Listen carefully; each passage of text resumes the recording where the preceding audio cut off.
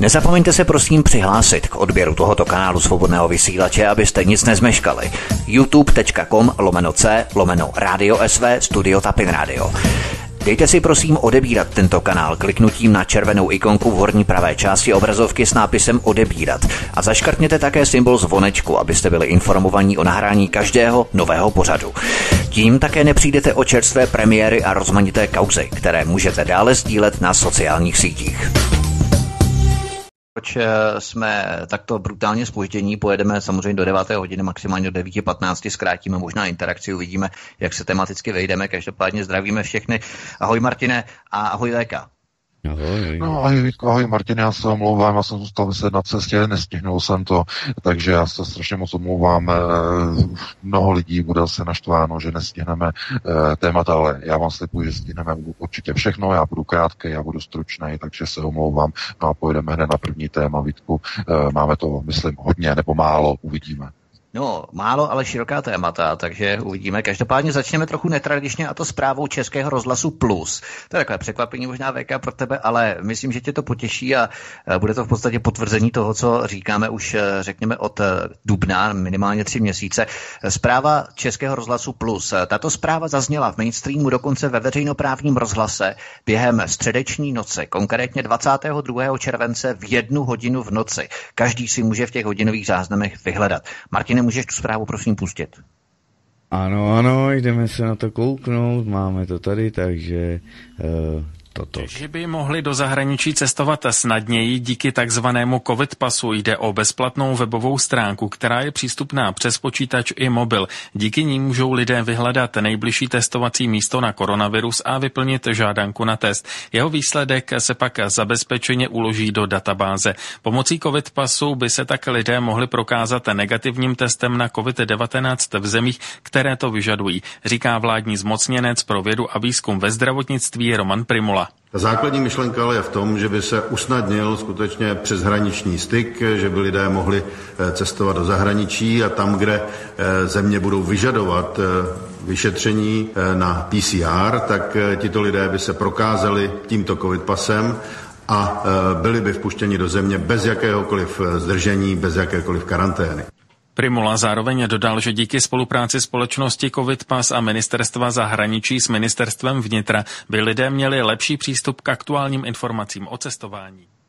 Nuž, tak a takhle to tady je. Nádherně, tady nádherně vidíme, jak to, co jsme tvrdili, že Bill Gates jenom tak planě nežvaní do větru, k čemu směřuje veškerá hysterizace a fašizace společnosti kolem korony, má přesně tento účel naočkovat obyvatelstvo, k tomu se záhy dostaneme, a zejména rozčlenit lidi na kastu privilegované třídy s covid pasem a všechny ostatní, kdo nebude mít covid pas, tak se postupně nikam nedostane. Nejprve oni to chtějí uplatnit na cestování přes hranice. No a následně to budou krůček po krůčku salámově opět rozšiřovat na profese i jakýkoliv pohyb. Nemáš covid pas, nepůjdeš na poštu, do obchodu, prostě nikam. Přesně o tom jsme hovořili tady u nás na alternativě od Dubna, tuším. Teď to potvrzuje mainstream a dokonce veřejnoprávní médium, i když v jednu hodinu v noci zatím.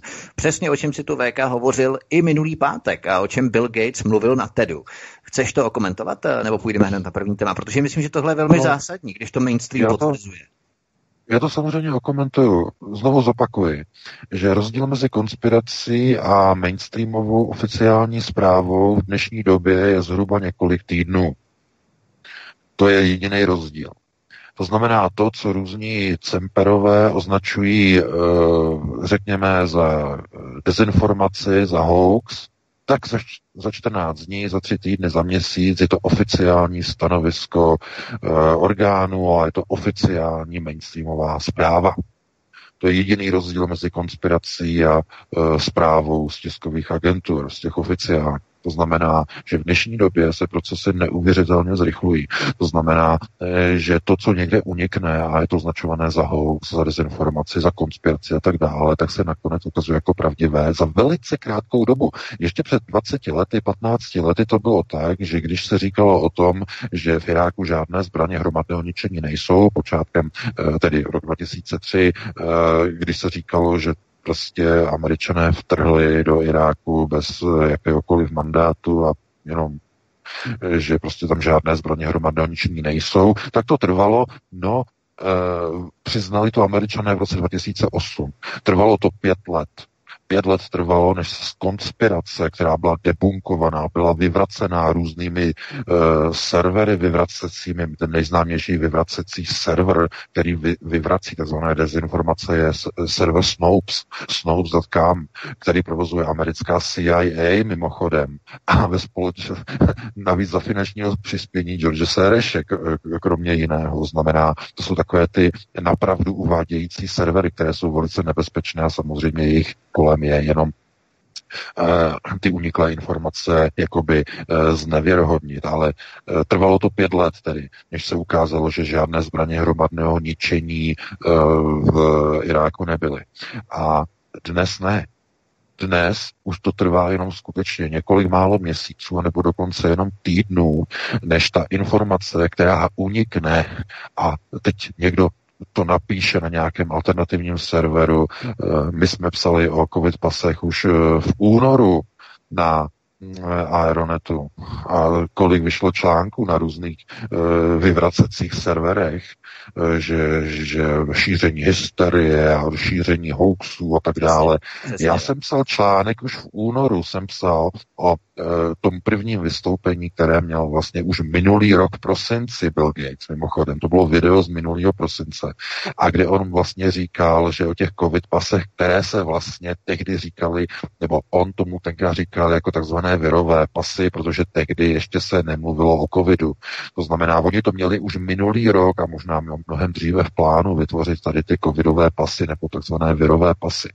Tohleto eh, kdy v noci, po půlnoci to česká eh, nebo český rozhlas to takzvaně uvede, tak eh, to je jenom kvůli tomu, že vlastně oni to musí pustit na tu veřejnost. No a Roman Primula Eh, jakožto epidemiolog, no tak samozřejmě on je součástí celého toho globalizačního konceptu.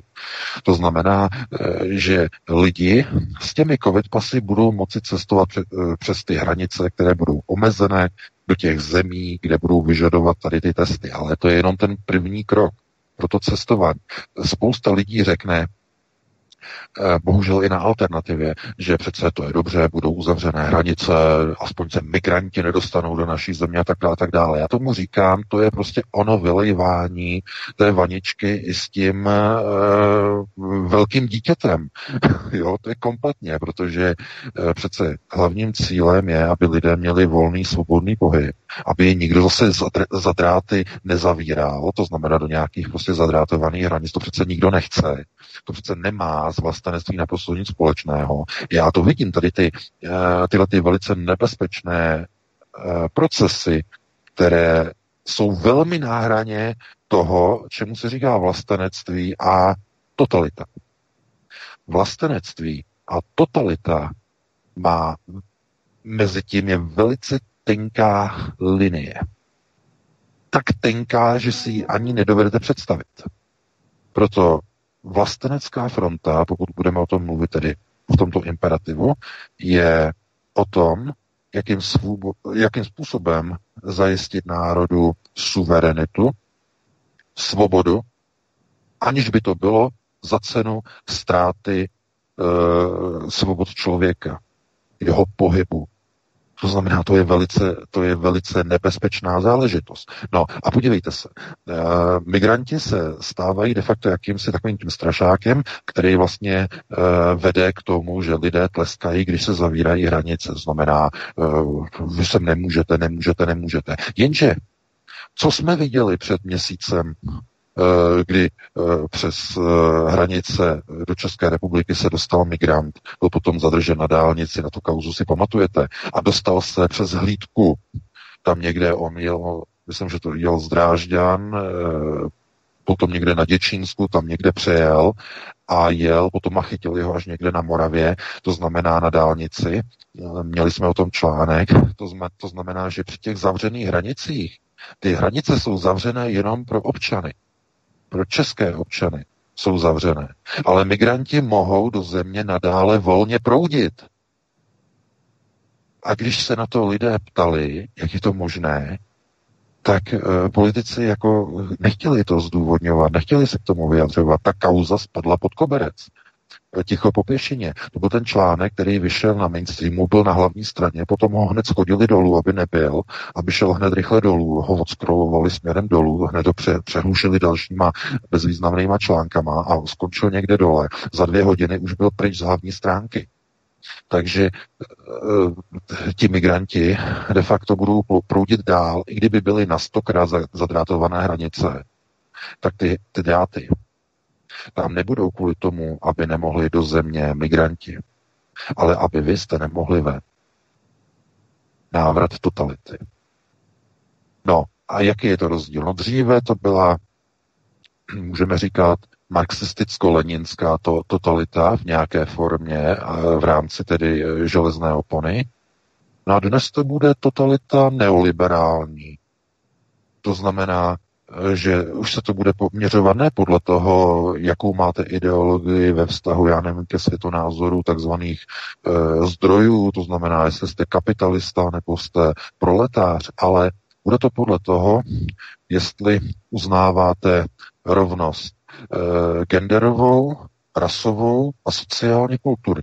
Jestli se klaníte černochům, jestli máte liberální BLM parametry, anebo jestli jste e, nacista, fašista, xenofob, e, homofob, prostě všechny tady ty nálepky a budou na vás útočit.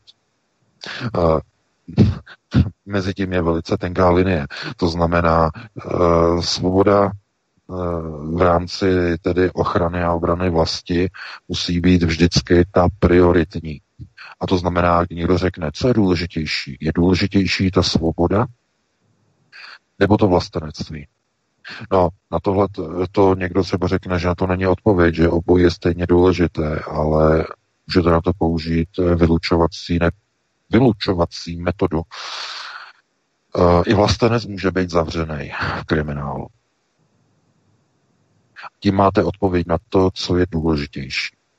Svoboda je samozřejmě to nejdůležitější, co v rámci vlasteneckých procesů je třeba ochraňovat. To je ten hlavní oltář, je ten hlavní pilíř. Proto svoboda je to první, co vám vezmou. Globalčiky, neoliberálové, všechny tady ty, já říkám prestituti, všechny tady ty úplatné s odpuštěním kurvičky, které e, zkrátka se využ, nebo které využívají všechny politické procesy ke svému vlastnímu politickému kariérnímu růstu v rámci neoliberalismu.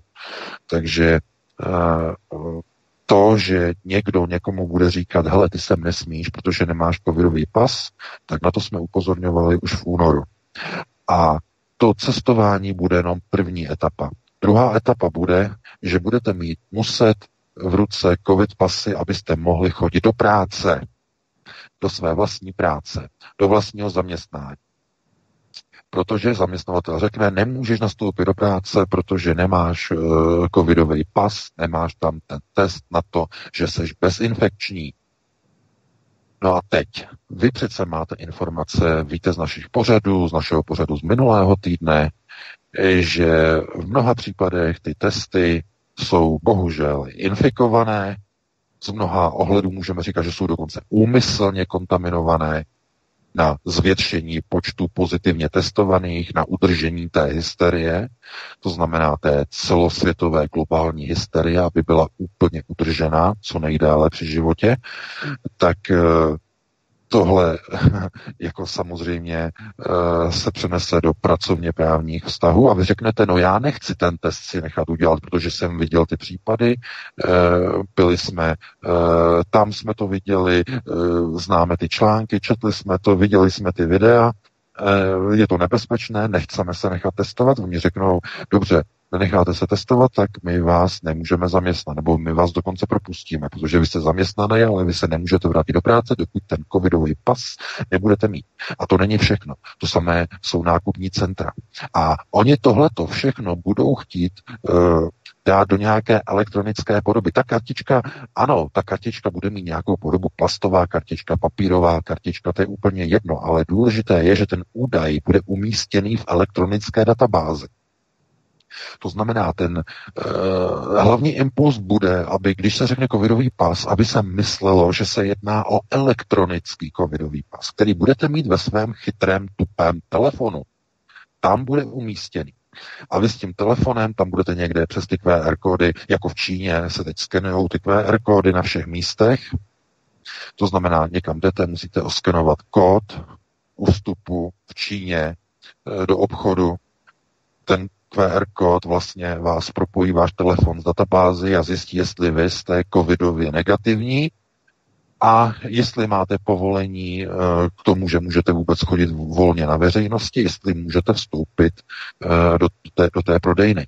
Eh, konec konců tady ty covidové QR kódy, které jsou v Číně teď všude, tak o tom vlastně mluví v posledním videu i vlastně ten eh, český vývojář na YouTube, eh, vlastně, který má tu přezdívku Čočik, tak se podívejte na jeho videa, na to poslední video, kde vlastně o tom hovoří, eh, tak tam zmiňuje, že vlastně ty QR kódy tam jsou vlastně všude na těch nádražích, na těch, v těch obchodech a tak dále a tak dále. To samozřejmě se ještě nedostalo do Evropy. A to bude. To znamená, ty QR kódy Jenom pro vaši představu to funguje tak, že vlastně vy jdete do nějakého obchodu, jdete, jdete do školy, jdete na nádraží, jdete na zastávku. Všude, kam přijdete, je QR kód, který nafotíte přes foťák svého chytrého tupého telefonu. Eh, ten QR kód obsahuje link, link, webový link, který se načte v aplikaci a převede a přenese v podstatě informace do centrální databáze, kde se zjistí, o vás, jestli na tom daném místě se v danou chvíli, v daný čas, v daný okamžik můžete nacházet. A jakou máte parametrizaci svého covidového pasu. To znamená, hned vám ta aplikace řekne, ano, do tohoto obchodu můžete vyjít, protože je v souladu e, s covidovými opatřeními přijatými v tomto daném obchodě. A nebo vám řekne, nemůžete tady na té zastávce teď stát, protože už je tu velký počet stojících, kteří přišli před vámi. Odejděte. Musíte odejít, odstoupit a přijďte za 20 minut, až bude zastávka prázdná. Počkejte na další spoj. Takhle to funguje v Číně. Všude jsou QR eh, kódy, které jsou propojeny s covidovými pasy v jejich centrálních databázích. Všechno je to realizované přes chytré tupé telefony. Všechno. To znamená, vy si představíte jako nějakou kartičku, o tu kartičku vůbec nejde. Je to v rámci elektronizace. No a tím se dostáváme k tématu, proč jsou tak důležité 5G sítě. Protože dnes v této chvíli je to ještě závislé na nějakých e, vašich datových komunikačních protokolech, to znamená na vašem telefonu, že vám funguje a máte nějaký datový tarif e, s e, operátorem a jde to přes váš telefon a e, na tom obchodě je jenom obrázek toho QR kódu. Ale po zavedení 5G sítí už to bude interaktivní. Tam bude čip, který bude propojený přímo sám o sobě z databází a vy už nebudete muset vůbec nic skenovat tím chytrým tupým telefonem.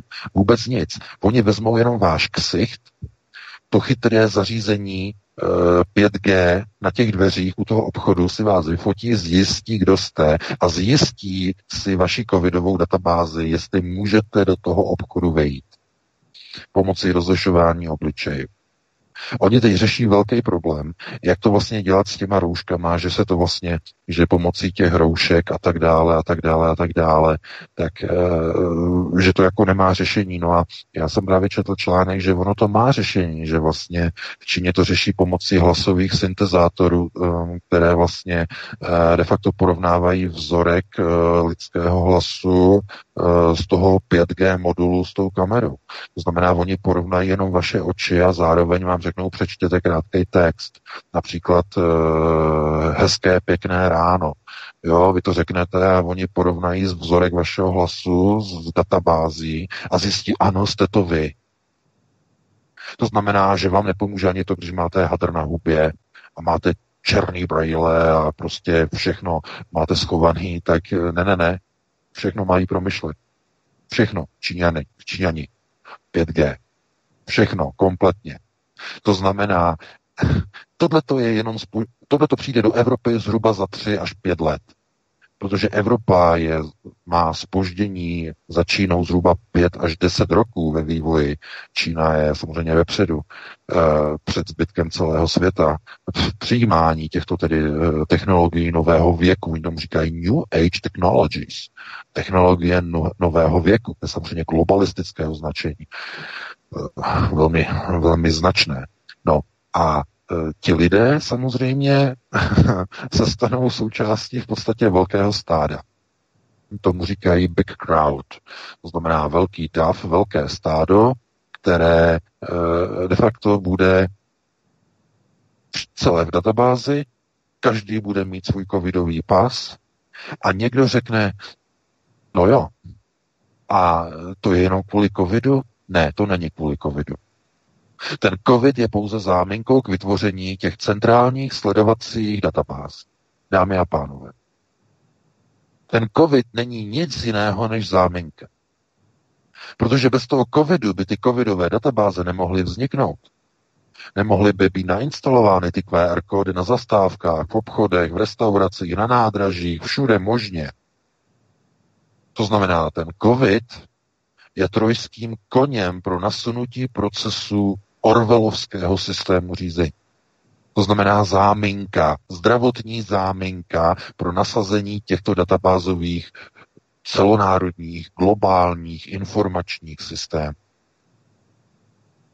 No a politicky samozřejmě uvědomili, řekněme, nějaký kádr, který by měl tady tomu vlastně odporovat, tak nemůže vyletět jako Eh, čert z krabičky a začít říkat, to je dobře, že červené svetříky eh, zavírají státní hranice eh, České republiky. To je dobře, aspoň se nedostanou do země migranti. To je tupost, samozřejmě.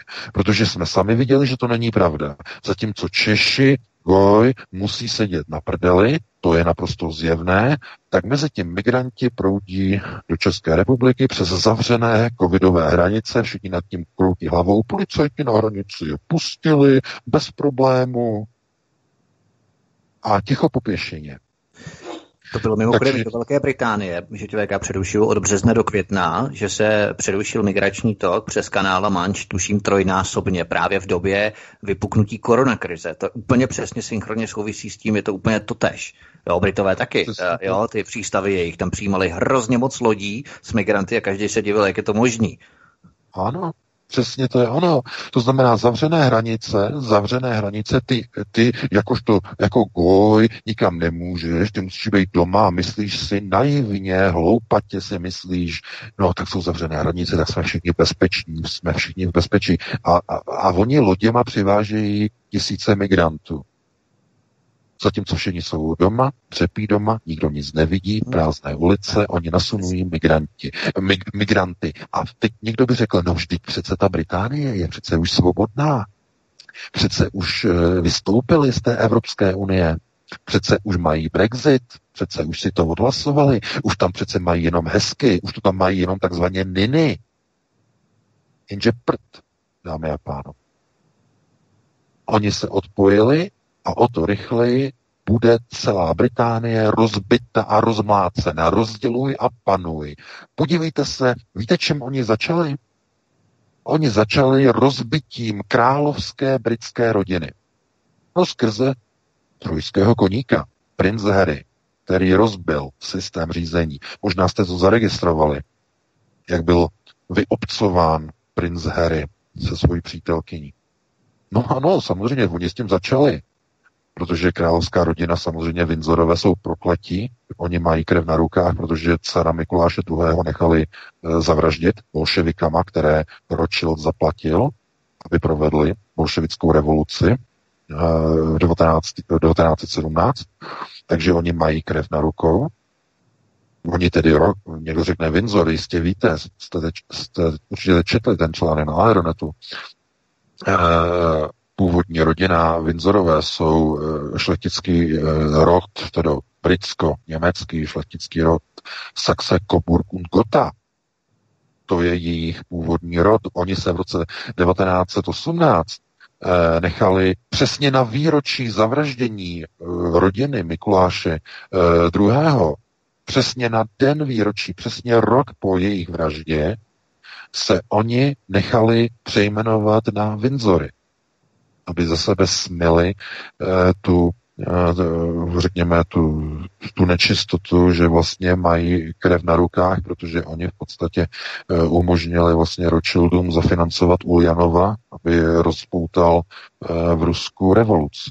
Protože to bylo za přispění tehdy královské, britské královské rodiny v souladu a ve spolupráci s Rothschildy. Takže Británie je teď momentálně rozbíjená přímo na úrovni královské rodiny. Tam teď běží takové nosaté procesy, které si vůbec nedokážete představit. Eh, královna samozřejmě toto vůbec nechápe, ta už je mimo. Vůbec nechápe, co se okolo ní děje, co se děje s Británií. To znamená, oni od, odštípli Británii od eh, zbytku Evropské unie, samozřejmě z logických důvodů. Já jsem o tom psal minulý jeden článek, eh, co oni vlastně tím sledují. Německo vzrůstá, Berlín. To znamená původní procesy, které nebyly naplněny za druhé světové války, které zahájil Adolf Hitler poté, co padla smlouva Havara, tak eh, de facto znovu tyto koncepty začínají vyrůstat a Dům Rothschild se bojí, že tyhle ty procesy de facto začnou ovlivňovat, nebo že by ovlivňovaly procesy ve Velké Británii. To znamená, došlo k odpoutání Velké Británie a co začal dělat Dům Rothschild, všichni víte. Začal sypat obrovské peníze do e, zemí ve střední a východní Evropě a začal podporovat americké neokony na vytvoření takzvaného paktu a troje, projektu Trojmoří, který se má stát pilířem proti, vzrýst, proti obnově německé velkoříše v Evropě. To znamená, to je největší obava domu Rothschild, proto došlo k Brexitu a k odstržení Velké Británie, protože Berlín začal ovlivňovat bankovní procesy v londýnském City. Už vlastně od roku 2010, od doby takzvané krize, hypoteční krize, e, začal Berlín skrze Brusel velice silně ovlivňovat procesy na burze v londýnském City a tak dále, omezovat vliv uh, Rothschildových bank, to znamená, to muselo být nějakým způsobem řešeno. No a eh, Zkrátka, abychom eh, de facto se dostali hned na další téma, protože tohle je hodně rozvláčné, tak já jenom chci říct, že co se týče covidových pasů, tak ty pasy budou jenom součástí projektu sledování lidí jejich naprosté totální kontroly. A nesmíte propadnout dojmu a pocitu, že když se někde začnou zavírat hranice a omezovat se pohyb, že musíte mít roušky a nesmíte chodit tam a tam a musíte být doma. Děkujeme, že zůstáváte doma. Takový ten, to stupidní heslo, které vždycky někdo někde napíše jako tupé a nechápe vlastně, co to dělá. E, to je samozřejmě už degenerace té civilizace, někdo tomu říká degenerace takzvaných mileniálů. Ehm, já si myslím, že to do toho už je prostoupené i do té předchozí generace. Už i tam je vlastně taková zase taková ta apatie, která vlastně umožnila ty procesy eh, nárůstu těch neoliberálních prvků, ale eh, důležité vlastně na tom je, že eh, v rámci tedy ochrany vlasteneckých tezí a zájmů je důležité nikdy nezapomenou na to, že vlastně svoboda je vždycky tím hlavním pilířem tam nahoře, nebo řekněme tou špičkou toho pilíře a všechno ostatní musí být pod eh, tou svobodou podřízeno směrem dolů. To znamená pod ní všechno dolů, všechno je druhá, třetí, čtvrtá až další řada, eh, další fronta, která potom je tomu podřízena té svobodě, která je vlastně úplně nahoře, protože ta vychází přímo ze svobody rodiny. Tam je ta svoboda přímo ukotvena. A pokud kdokoliv se pokusí nějakým způsobem zaútočit na, na tradiční rodinu, ať tedy v rámci nějakých procesů, které jsou, řekněme, strukturální nebo i konceptuální, tak vždycky vlastně usilováno nejprve o to, aby lidé a členové v té rodině byli zbaveni vlastních svobod. A to už je jedno, jestli to je svoboda pohybu, svoboda voleb, svoboda nákupu, eh, svoboda rozhodování a tak dále a tak dále. To je jedno, protože ty svobody mají mnoho podob, ale postupně jednotlivě ta rodina těch svobod je zbavována. A ve chvíli, kdy vám e, narazí hadry na hubu a řeknou, zůstaňte doma, zatímco migranti vesele proudí přes hranice a lodičkama přivážejí tisíce migrantů, tak to znamená, že jste pouze ovce, ale nikoliv už na stříhání vlny, ale vedou vás přímo do slaughterhouse, e, na jatka. Přímo na jatka. Jdete v té řadě přímo na jatka. Jateční, jateční váha, jateční velikost, nejprve vás ostříhali a teď vás podříznou. To je proces globalizace. A někdo řekne, pan VK zase přehání, zase to zveličuje. No tak dobře, tak si to pojďme říct ještě velice rychle. Tak měli jste v roce 89 byty, měli jste uh, svoje důchody, měli jste svoje úspory, nemuseli jste si půjčovat, nemuseli, uh, byt jste si mohli koupit z výplaty z našetřený, kdy, kdy jste měli dobrou výplatu za pět let, jste si na, našetřili namontovaný dobe, domek, i když to byl třeba ten západoněmecký montovaný okál nebo nějaké jiný, ale měli jste na to. Dostávali jste půjčky. Měli jste od státu bezúročné půjčky, jste měli dítě na rodinu. No a po těch 30 letech co máte? To znamená, máte dluhy, máte 1,5 milionu exekucí, 800 lidí, 800 tisíc lidí v exekucích. Ehm, to, co máte, máte ve skutečnosti na hypotéky, to znamená na dluh. To, co máte, čím jezdíte, máte ve skutečnosti na leasingy. A e, to, co skutečně jako máte, tak jedině, jedinou jistotu, kterou máte, tak jsou ve skutečnosti dluhy. A ta společnost e, to pouze jenom přenáší na státní úroveň. To znamená zadlužení státu. To znamená ten stát. Co má ten stát? No ten stát má lecos, má povinnosti, má závazky, má dluhy a to je tak všechno, co ten stát má aktiva nikde jakoby ne, nebyla. Jediná aktiva, která jsou, tak samozřejmě to jsou uh, ze strany státu, teda, nebo stát se na to dívá jako na aktiva, to jsou samozřejmě daně, které vybírá od lidí různé poplatky a daně DPH a daň z příjmu a tak dále a tak dále. Takže uh, po 30 letech ta společnost de facto je už v roli několik těch holených. Pozor, holený, holení bylo ve chvíli, kdy vás stříhali jako ty ovce, kdy ještě bylo z čeho brát.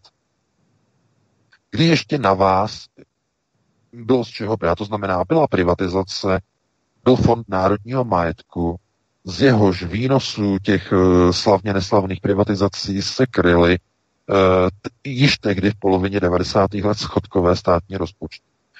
Tyhle ty zdroje se vyčerpaly, to znamená, došlo k doholení těch ovcí, rovná se občanů, no a teď už je to slaughterhouse. To znamená, teď už jdete přímo na porážku. To znamená, v roce 2000 Zemanova vláda přijala exekutorský zákon, to znamená, to bylo například z domu Rothschild samozřejmě, to bylo že to, mimochodem český, český eh, zákon o exekucích eh, dělala eh, právnická komora z Londýna, společnost Millhouse eh, and Consulting. To znamená, to byli poradci tehdejších socialistů Zemanovy vlády, to znamená, to dělali Rothschildové, dělali český exekuční zákon. Takže, no, zase další prostě chucpe, no, nosaté. Ale, e, chápete, a proč musel být přijat v roce 2000?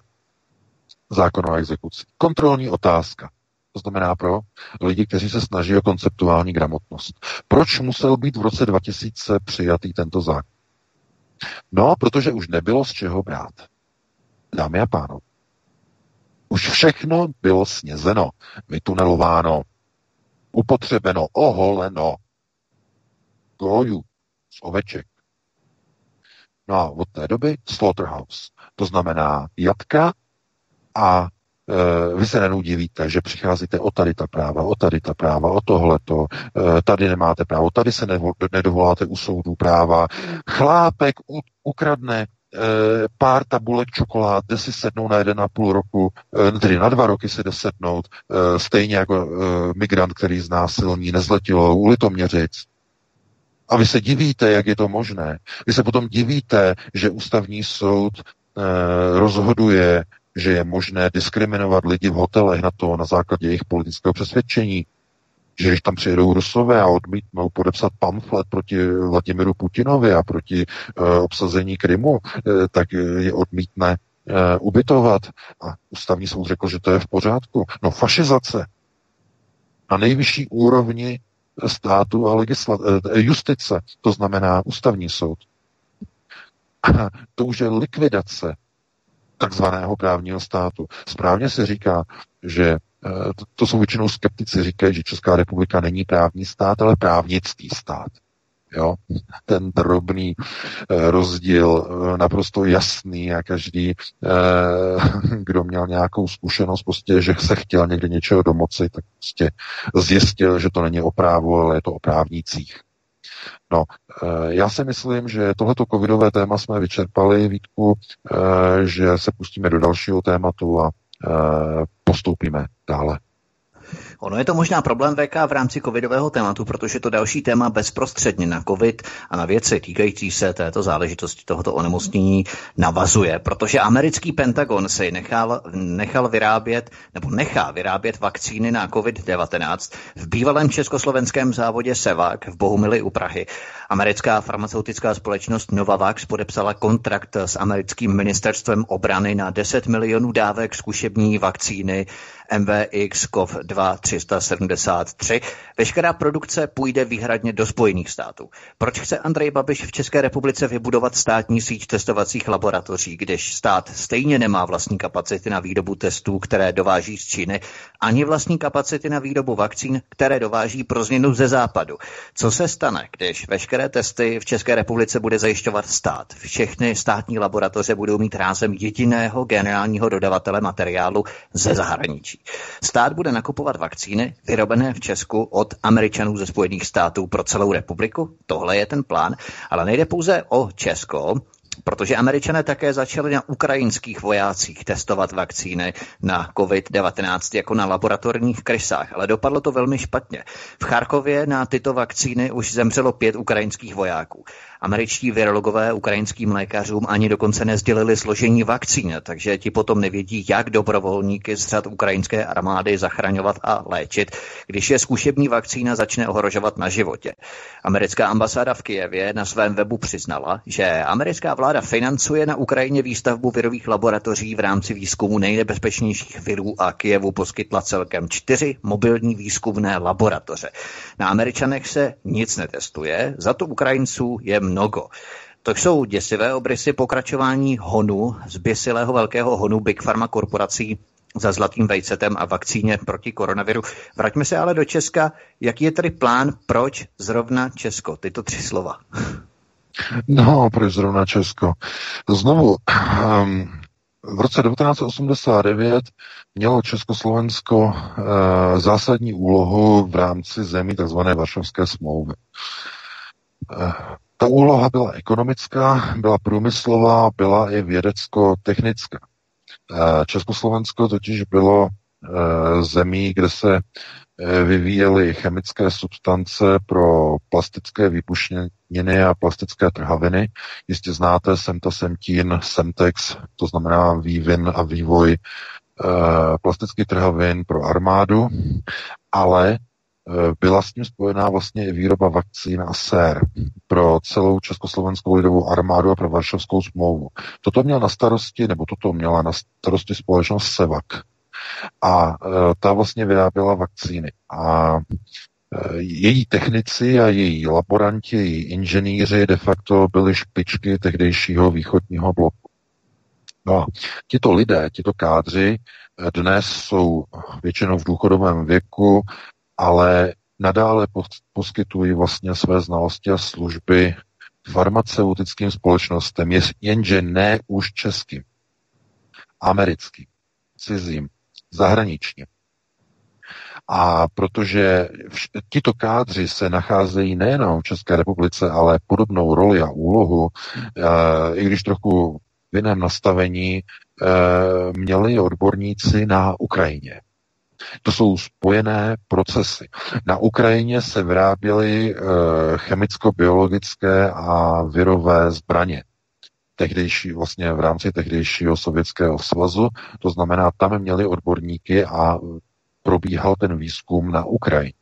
To znamená, na Ukrajině mají Eh, tyhle ty odborníky a proto i američané vlastně eh, americká ambasáda se pochlupila eh, v Kijevě, tedy americká ambasáda v Kijevě na, své, na svých webových stránkách, že vlastně pomohla renovovat a vybudovat na Ukrajině dvě nové virové laboratoře.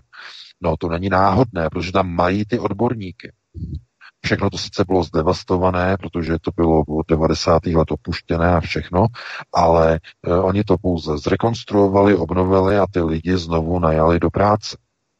No a to samé v podstatě sledují američané. Proto koupili e, závod e, e, nedaleko těch Jevan, tedy v té Bohumili u Prahy, a e, tam tedy budou vyráběny tyhle ty experimentální takzvané kandidátní vakcíny, e, 10 milionů vakcín pro americkou armádu, pro Pentagon.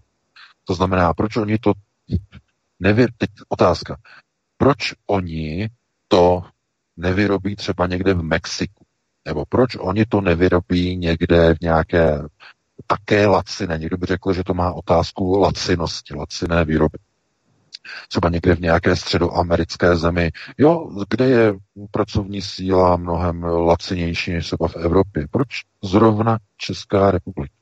No, protože ve výrobě vakcín u toho musí být odborníci, kteří v té střední Americe zkrátka a vůbec nejsou. Nejsou.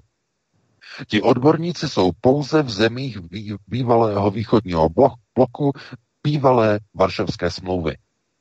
Proto e, američané skupují e, virové laboratoře a podniky a závody na výrobu vakcín v České republice, na Ukrajině, v zemích, kde před rokem 89 e, Varšavská smlouva se opírala o vývoj vakcín, séra, pokud jde o tu Ukrajinu i virových a bakteriálních zbraní. To znamená, to je logické po roce 89 došlo k tomu, že zanikl takzvaný bipolární svět a vznikl svět unipolární, kde Spojené státy měly ještě do nedávna e, naprostou dominanci a nepočítali s tím, že ten unipolární svět se jednoho dne zhroutí. A ten svět se změní na multipolární.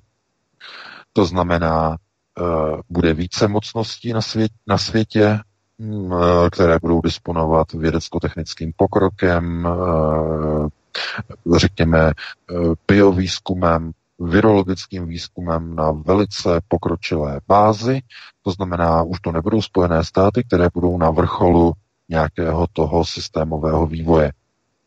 Oni si mysleli, že od té doby když se, podaří, když se podaří porazit sovětský svaz, eh, tedy ve smyslu té studené války, tedy ekonomicky, tak eh, že Spojené státy vlastně zůstanou hlavní dominantní sílou, ale eh, na tom je absurdní a paradoxní to, že o tu unipolaritu američané přišli vlastní zásluhou, vlastní silou. Sami se o to postarali.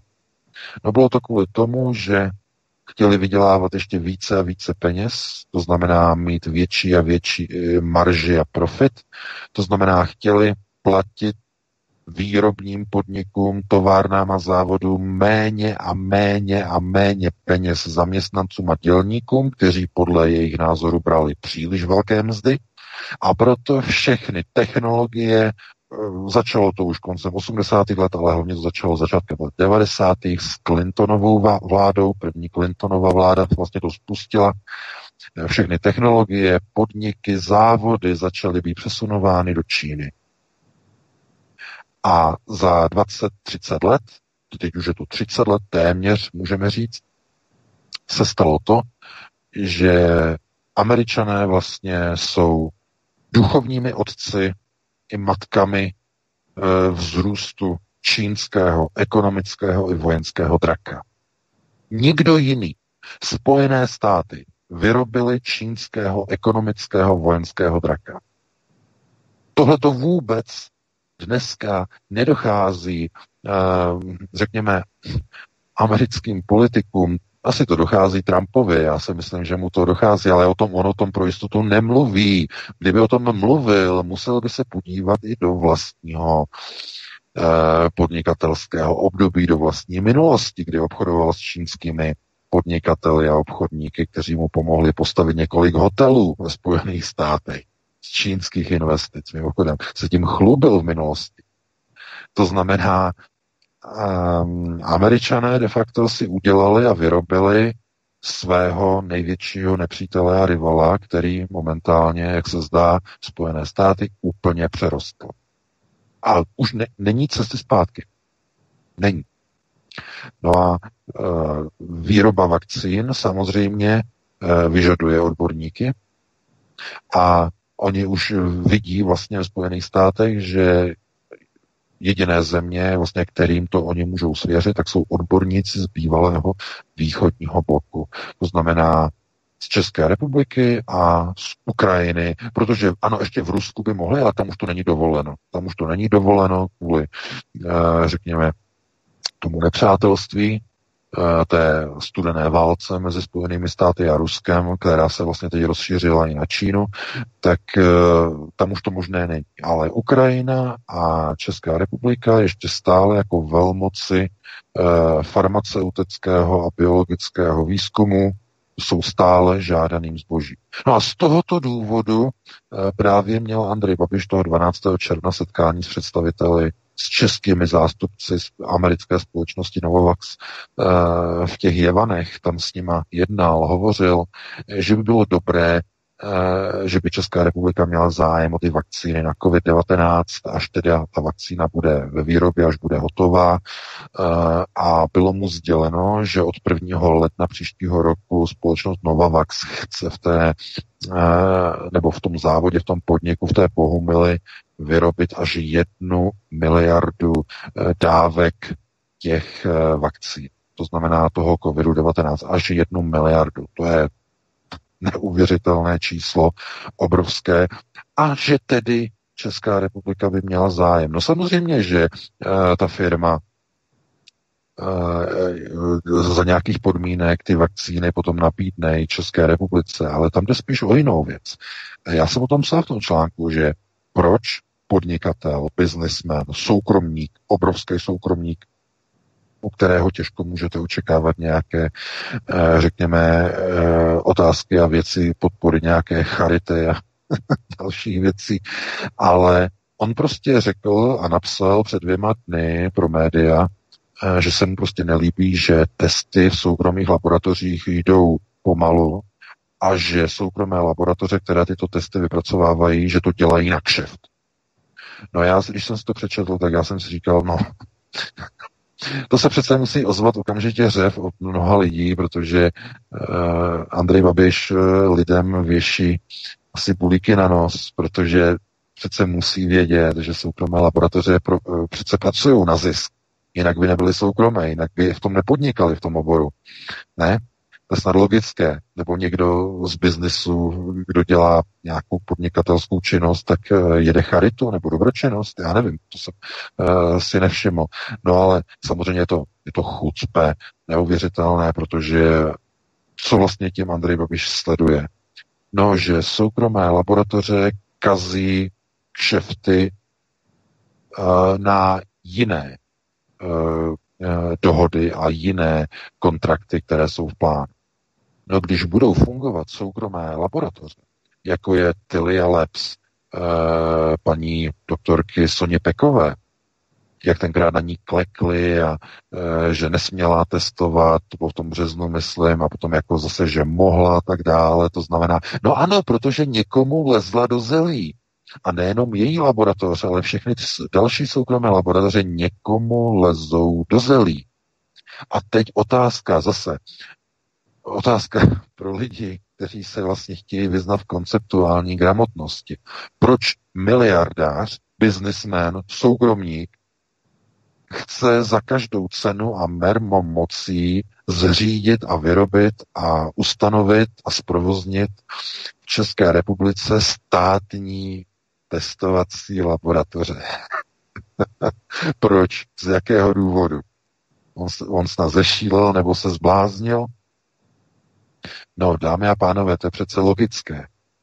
Státní laboratoře se musí řídit zákonem o zadávání e, takzvaných státních zakázek, to znamená zákonem o tendrech, a ty státní laboratoře budou muset pod nějakým vedením a řízením, které zřejmě bude někde na úrovni ministerstva zdravotnictví, předpokládám, budou muset vypsat podle zákona o tendrech výběrové řízení na hlavního generálního dodavatele vakcín COVID-19 pro Českou republiku.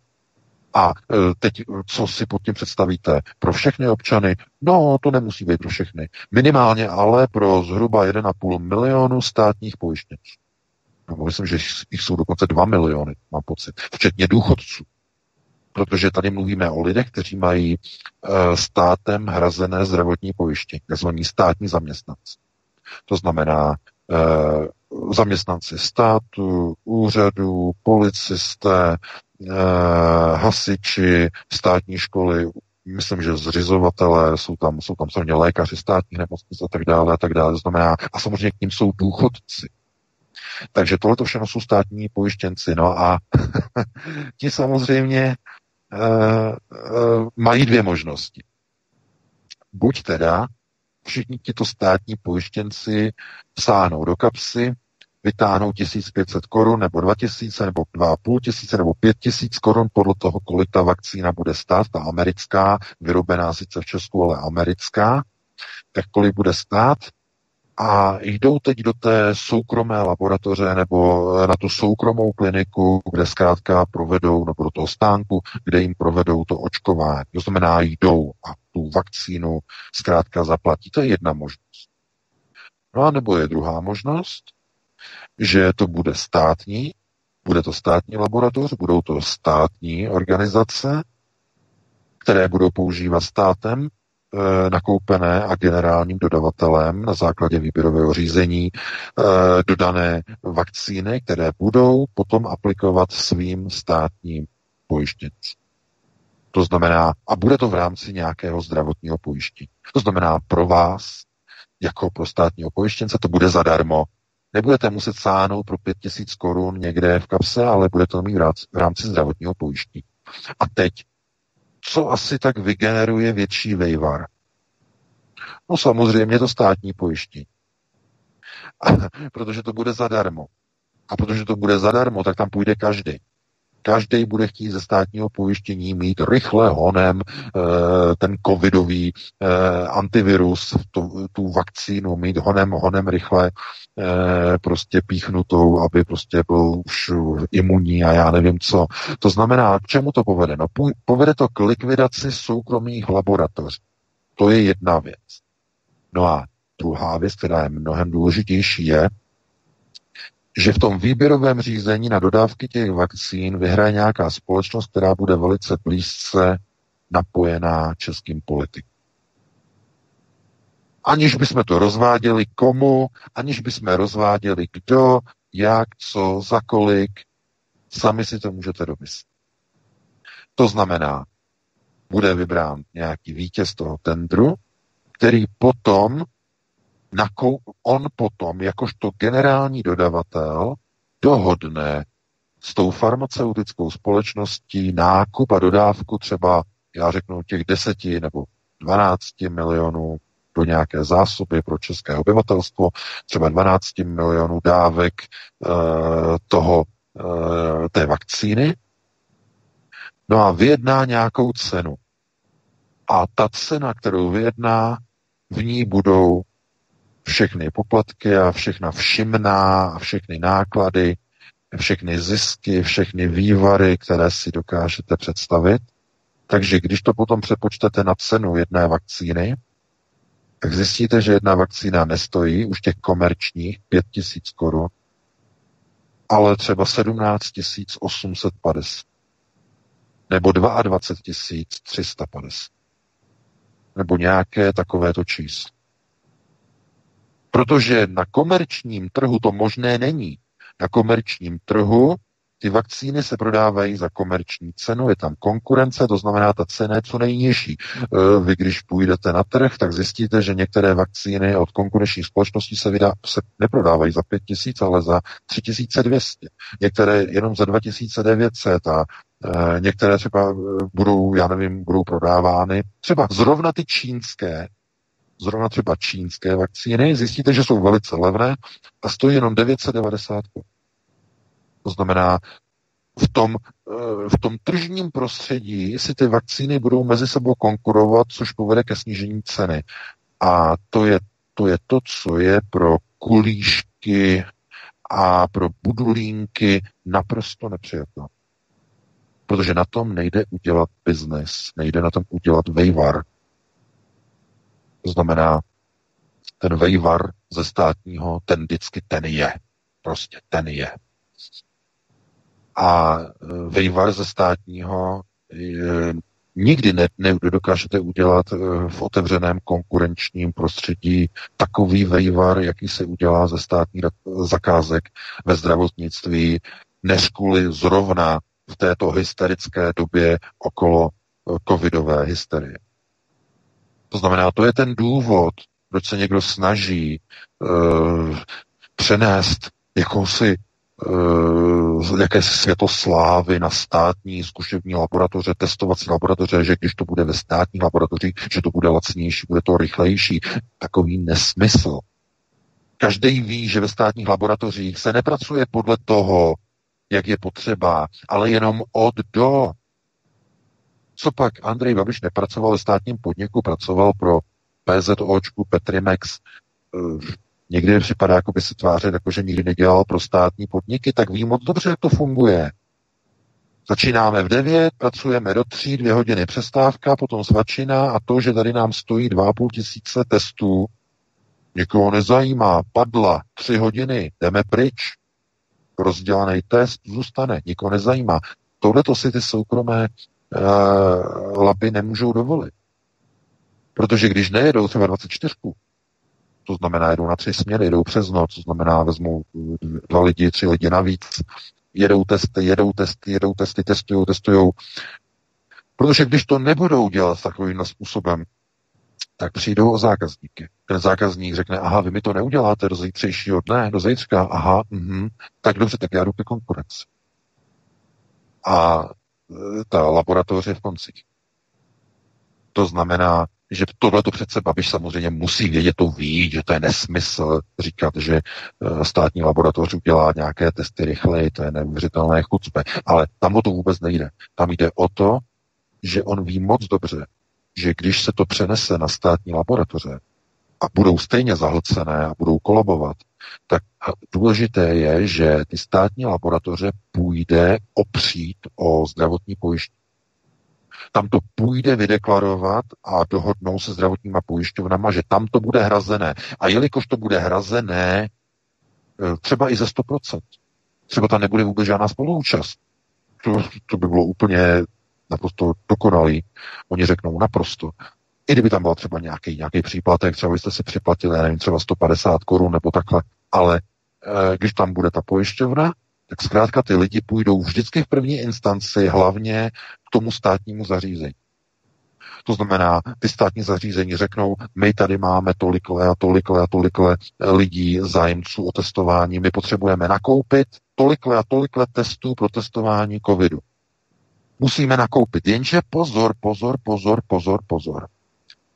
Protože jsou to státní laboratoře, ty nemůžou vynakládat státní peníze tak, že řeknou, aha, já teď zavolám tady té firmě, aby nám přivezli dalších pět a půl tisíce testovacích kitů. Ne, ne, ne, ne, ne, ne, ne, ne, ne, ne, ne, ne.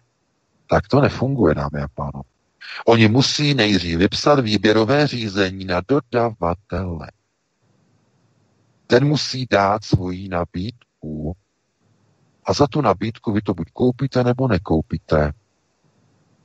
Proto kulíškovné, budulínkovné, všechny poplatky potom v tom tendru jsou napočítané. Takhle to funguje v české krásné kotlině. Přesně takhle. Miliardář řekne na plná ústa, že soukromé podniky a soukromé laboratoře jsou na prd, dělají to pomalu, musíme udělat státní laboratoř. Chápete? To je takové neuvěřitelné chucpe. Kdyby to řekl nějaký, uh, já nevím, byl by to třeba komunista, to znamená, uh, byl by to straník a byl by přesvědčený o, řekněme, budování socialismu a řekl by, my věříme, že státní by to dělali lépe, tak já bych mu to věřil že to myslí takzvaně křišťálově upřímně. Je o tom přesvědčen. Ale když to řekne kapitalista, miliardář, Babiš, tak to znamená, že prostě věší bulíky na nos lidem. Tomu nemůžete prostě věřit, to nemůže myslet vážně. To... Tak, Veka, musím s tím ještě jedno téma, jo? Ještě krátce aspoň. Ještě ještě jedno zásadní téma, jenom chci říct, že prostě celá tahleta opičárna okolo e, vakcín, okolo e, testovacích kitů je jenom kvůli tomu, že když jsou tam soukromé e, společnosti, jsou tam soukromé testovací laboratoře, tak někomu kazí naplánovaný biznis. To je to hlavní.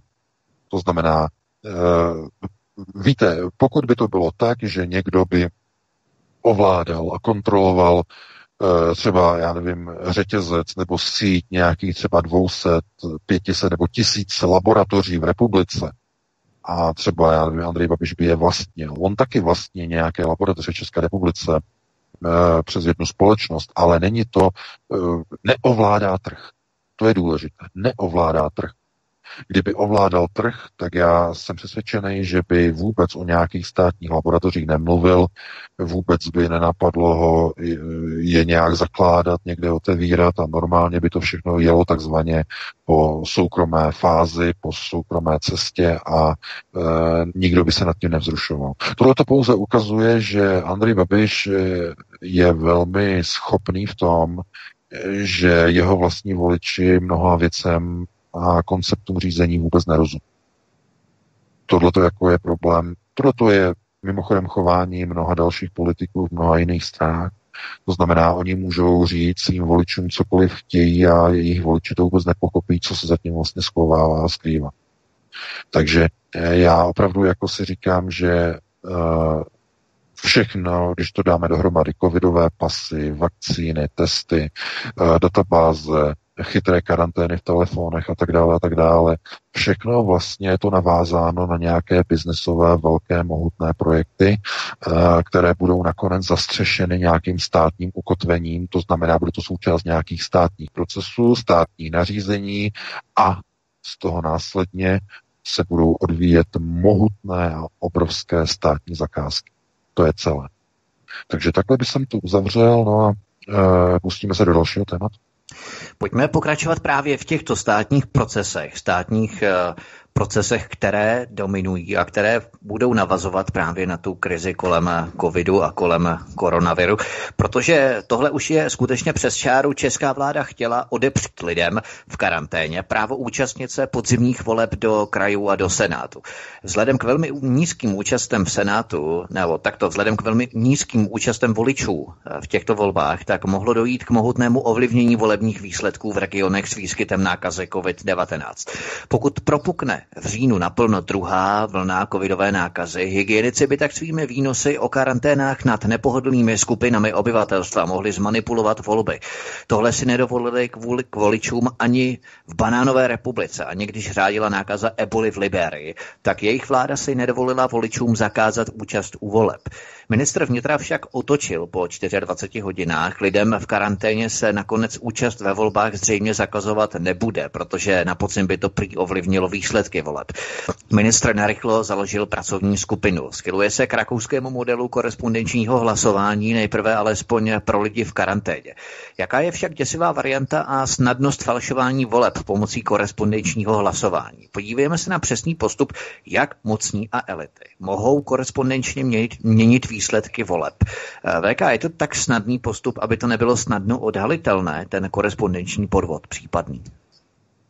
No, samozřejmě, že to je tak eh, jednoduché a snadné, že, je to, že z toho vlastně pramení to, že dnes, právě dnes, eh, vyšel nový článek, rozhovor s Janem Hamáčkem, tedy s ministrem vnitra, který v rozhovoru uvedl, že to není jeho výmysl, to znamená to, že lidé, kteří mají karanténu, že nemohou k volbám, ale že to je zakotveno ve dvou zákonech, které byly přijaty už v letech jeden v roce 95 a druhý v roce 2005.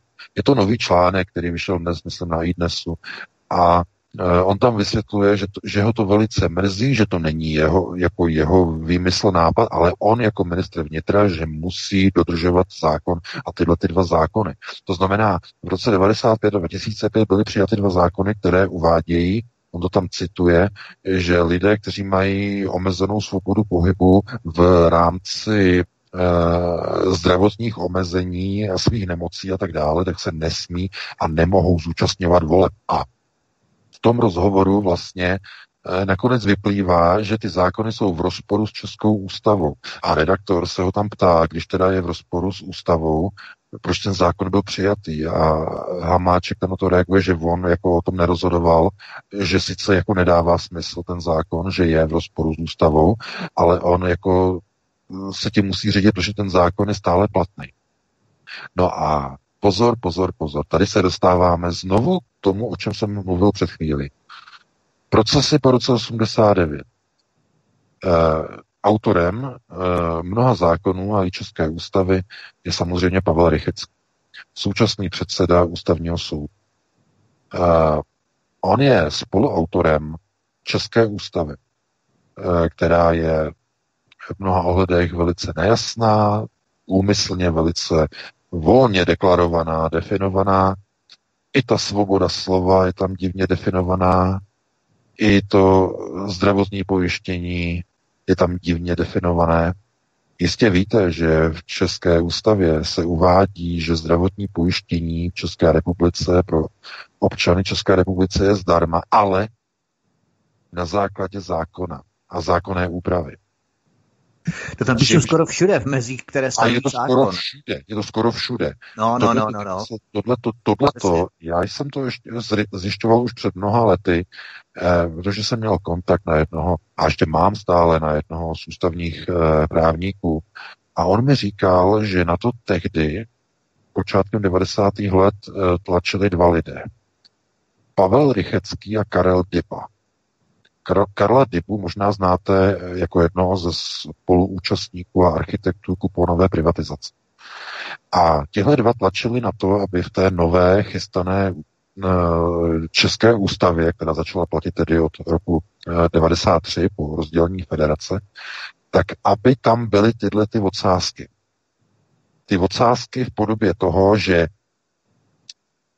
občany mají nárok na zdravotní pojištění zdarma, ale na základě zákona, zákonného, zákonné úpravy.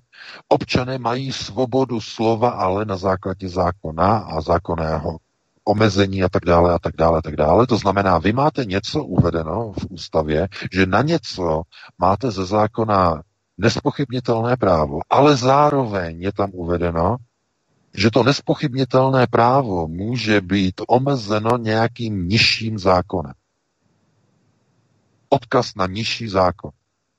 Všichni víte, že i když je to napsáno v ústavě, není to pravda. V České republice není zdravotní péče zdarma, není hrazena státem, je hrazena ze zdravotního pojištění, které si povinně, mandatorně musí platit všichni občané České republiky. Jinak na ně přiletí kdo? Kontrolní otázka. Zemanův exekutor. A udělá z nich co? Dlužníky nebo bezdomovce pod mostem? A najednou na to koukáte a říkáte si, pro boha, kde to žijeme? Kdo nám to vládne? Koho to volíme? Co to je za šlendrián? Někdo by si řekl. No jo, jenže tohle to si někdo měl říct už před 30 lety, když lidé cinkali na náměstích a potom se jenom tiše dívali, jak do funkcí se dostávají bývalí kádři různých prognostických ústavů, jak se dostávají různí odborníci eh, dříve připravovaní v rámci STB, najednou se dostávají k moci, najednou vidíte, jak krachují podniky, eh, jiné jsou vytunelovávány, nikdo proti tomu nezasahuje, harvardské fondy, eh, krachy kampeliček, různých družstevních spořitelen a tak dále a tak dále. tohle to všechno je jenom kvůli tomu, že ta ovce, ta ovečka stála pevně, civěla, občas zapečela, ale jinak držela pevně a nechala se holit. 30 let se ta česká ovce nechala holit. Ten občan se nechal holit celou tu dobu. A protože dneska už nic není, tak dneska už je prostě jenom ten slaughterhouse už vám zakazují, že nesmíte eh, chodit tamhle, eh, házejí vám hadr na hubu, eh, tohle to nesmíte říct, tamhle nesmíte říct, tady vezmete čokolády, dostanete stejný flaster a vězení, jako dostane ten, kdo znásilnil nezletilou 15 letou dívku, to znamená absurdní rozsudky, naprosto absurdní. Byste řekli, to je absurdní, jenže ne, oni nejsou absurdní, oni jsou přesně v důsledku toho, že vy jste umožnili jak justici, tak i legislativě dělat si úplně, co chtějí a přijímat proti lidové zákony po dobu celých 30 let v České republice. Proti lidové zákony. Všechny. Kompletně. No a tohle je výsledek, který tam je. To znamená, eh, Někdo řekne, že svoboda slova, eh, že je zaručena v ústavě. Ne, ta není zaručena. Máte to tam přímo tím odsázkem jasně uvedené. Na základě zákona. A ten zákon vám tu svobodu bere. Podle těch gumových paragrafů eh, podněcování, spochybňování, eh, xenofobie, rasismus, to je asi pět nebo šest paragrafů ty známé takzvané gumové pendrekové paragrafy, to znamená, e, můžete si říkat, co chcete, máte svobodu projevu zaručenou, ale nikoliv už svobodu po projevu. Chápete? Takhle. Takhle pěkně to udělat. Svoboda projevu ano, ale svoboda po projevu to už tak jisté není. To znamená, přímo v té ústavě je to tak dané. No a oni to tam dali tak schválně. To znamená, ta ústava je schválně tak nastavená, aby byla tak gumová, aby byla překláp, aby, jakože ano, vy máte tu svobodu, ale na základě ještě ustanovení a e, dodatků zákona a tak dále, a tak dále, a tak dále, a tak dále. To znamená, co tam je. A vy máte to zdravotnictví zdarma, máte nárok na péči zdarma, máte, máte, ale zase na základě zákona, který vám říká, že ža, žádný nárok na péči zdarma nemáte, protože si musíte platit zdravotní pojištění, i když jste bezdomovec, tak si musíte platit zdravotní pojištění i bezdomovec. No, protože oni neplatí, tak jim narůst, narůstají exekuce. To jsou bezdomovci, kteří třeba jsou e, někde na ulici za 10-15 let. A oni tam mají na těch exekucích třeba milion, milion a půl. To je, v životě je to nesplatitelný. A oni třeba řeknou, kdyby, kdyby někdo, třeba nějaká neziskovka, naivní, se snažila je dostat zpátky do společnosti, takzvaně do systému, eh, tak oni se tam nebudou chtít vrátit, protože oni, kdyby se vrátili do systému, tak oni budou mít pouze nesplatitelné dluhy a oni budou mít životní minimum, protože eh, podle těch, řekněme, zemanových zákonů exekučních je to tak udělané samozřejmě.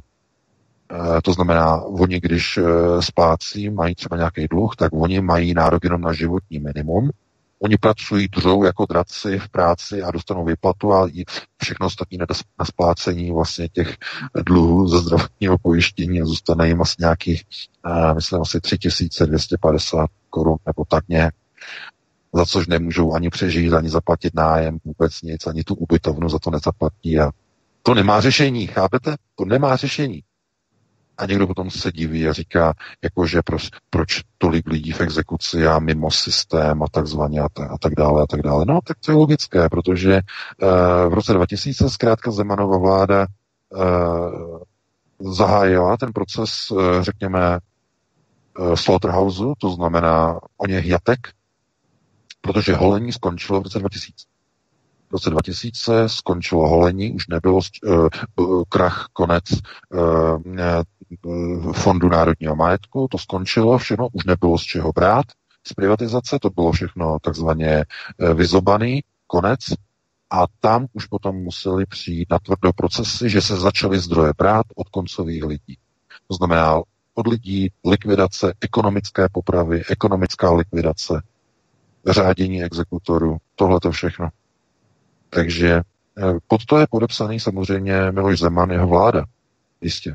Samozřejmě dneska se o tom moc nemluví, ale uh, to je ten zásadní problém.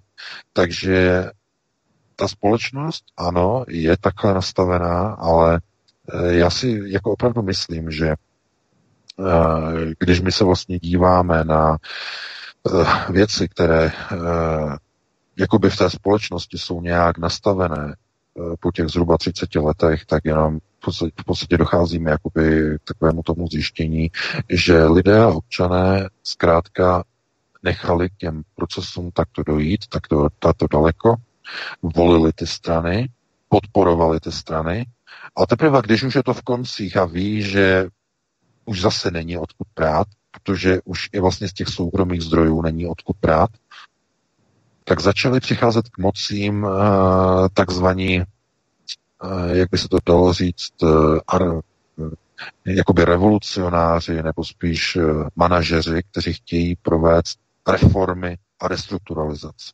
Ať už je to Donald Trump ve Spojených státech, nebo je to Andrej Babiš v České republice, nebo jsou to různí jiní politici v Evropě, tak zkrátka najednou jako už není kam jít dál a my potřebujeme někoho nového, kdo takzvaně udělá nějaké pořádky a udělá nějaké čisté řezy a tak dále, tak dále.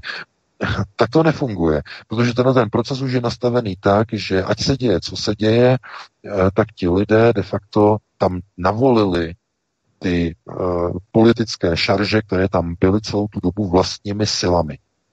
A teď de facto všude, když se podíváte, tak vítězí jenom takové politické struktury, které prosazují rozdělování peněz ze všech společných zdrojů ve společnosti. To znamená politika sharingu, sdílení zdrojů, sdílení automobilů, sdílení bytů, sdílení výrobních nástrojů, sharing, sdílení. No proč si myslíte, že čtvrtá průmyslová revoluce je vlastně založená kromě digitální ekonomiky na sharingu, na sdílení zdrojů. No protože tam, kde se sdílí, tam už nejsou zdroje pro každého. Kdyby byly zdroje pro každého, tak se nebude nic sdílet. To je ten důvod. Někdo řekne, že to je kvůli tomu, že to je eh, ecological friendly. To je taková blbost. Zase vám navěsili další bulík na ksicht. Greta se vám směje jste tupí. To nemá nic společného s nějakou ekologií. Celé tady to e, ekologické šílenství je kvůli tomu, že už nejsou zdroje pro všechny obyvatele na této planetě. A teď by někdo řekl, řekl, že nejsou zdroje kvůli tomu, že jsou vyčerpány. A to je další chucpe. To taky není pravda. Žádné zdroje nejsou vyčerpány. Pouze nejsou dostupné pro schudlé národy, které byly za posledních 30 let úplně dočista voholeny jako ovce úplně o všechno. A voholená ovce, ta nemá nic. Ty, ty zbývá jenom to, že může maximálně něco sdílet. Ta nemá na to, aby si to koupila. A pod tou ovcí si nepředstavujte jenom fyzického člověka, Mluvíme o jednotlivých státech zadlužených. Teď nedávno, před několika dny, o dalších stovek x miliard eur, jak všichni politici zadlužili své národy v Evropské unii. No ta ovečka nemá nic na sobě, už byla oholena, takže si musí zase půjčit. Zase. Zase si znovu půjčit. Bude ručit čím, no, sama sebou. Vychrtlá, vyzáblá. Některý z nich padnou. No tak se, co se udělá, když ta ovečka padne? No tak ji zvednou na nohy, napíchají do ní nějaký doping, jako Řecko, zase postaví na nohy jako zombie, aby se ještě pohybovala, napumpujou do ní zase další půjčky, aby se zase pohybovala pár stovek dalších metrů. Tohle to udělali nosatí s našimi národy po roce 89. Zombie, národy zombie, tupých lidí, kteří neustále dokola volí pořád tu samou politickou garnituru over and over again.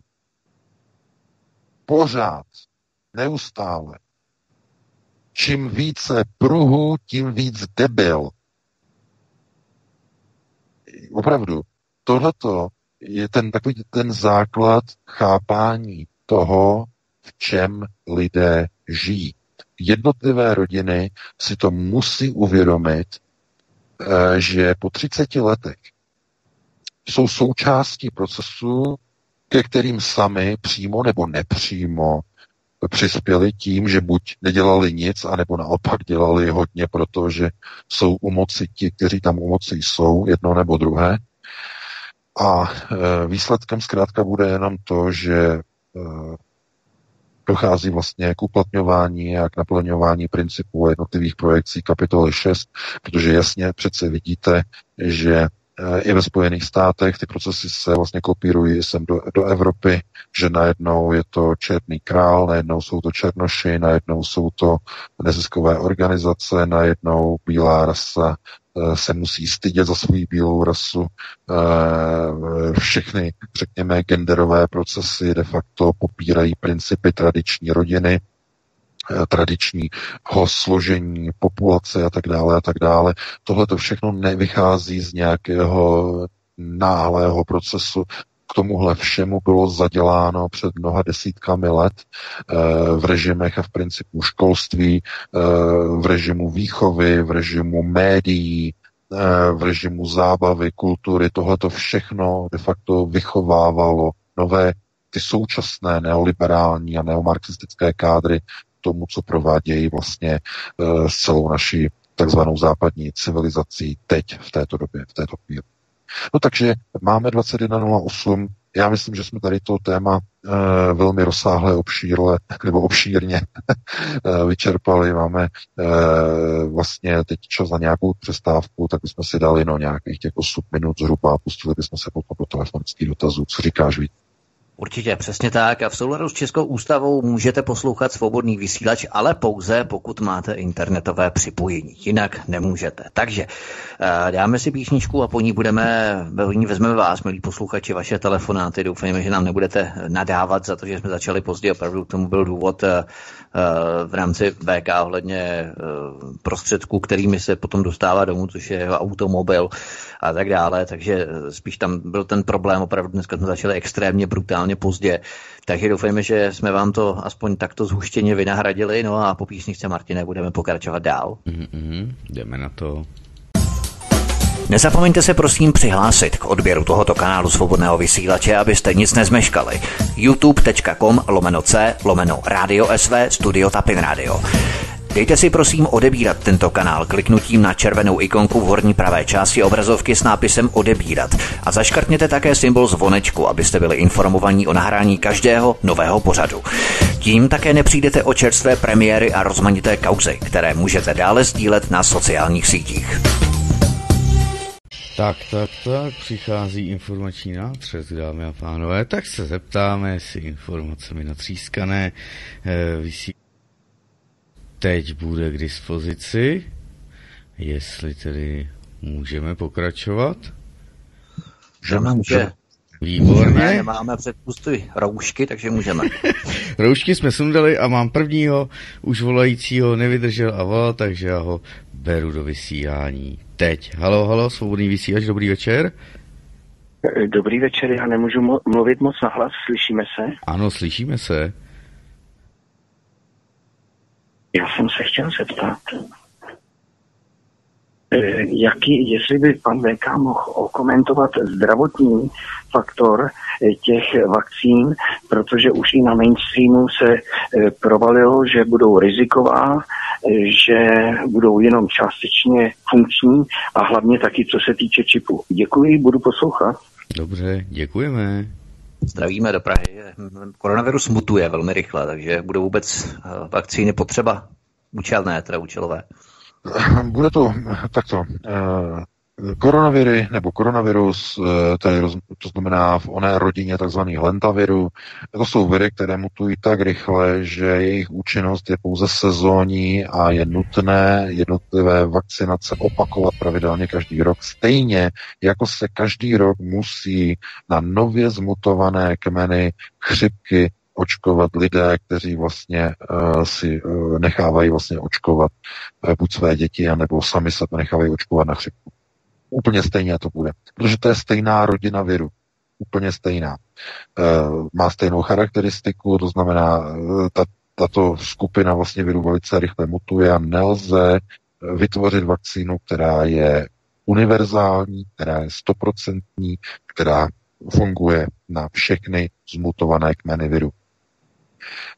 Pokud víte, jakým způsobem fungují, fungují očkovací vakcíny, Eh, na uh, chřipku, tak víte, že vždycky na každý rok vlastně je uvedený seznam těch jednotlivých kmenů, nejrozšířenějších kmenů, proti kterým vlastně ta zrovna konkrétní šarže uh, těch vakcín funguje na dané období. Ta se mění pravidelně každý rok a podle toho vlastně vy jste chráněni třeba z nějakých 70% proti těm nejběžnějším kmenům té chřipky, ale Zkrátka eh, vás to neochrání stoprocentně, protože třeba ve 30% případů onemocníte chřipkou kvůli tomu, že zrovna vás vlastně napadl virus, který e, není momentálně v té multivakcíně, e, v té sestavě té chřipkové vakcíny není zrovna momentálně obsažen, tedy jeho antigen.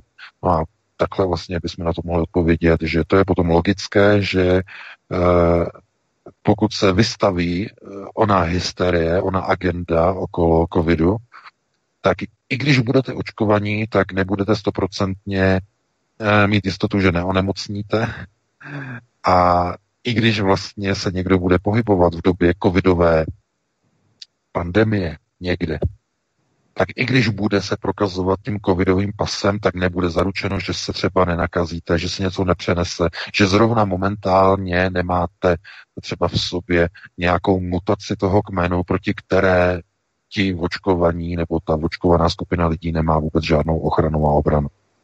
E, z toho jasně jenom vyplývá, že to je připravený biznis. To znamená, e, farmaceutické společnosti budou muset každý rok, každý rok stejně jako se to dnes dělá s chřipkovými vakcínami, tak každý rok budou muset připravovat upgradeované a updateované vakcíny, protože ten koronavirus bude mutovat každým a každým a každým dalším rokem.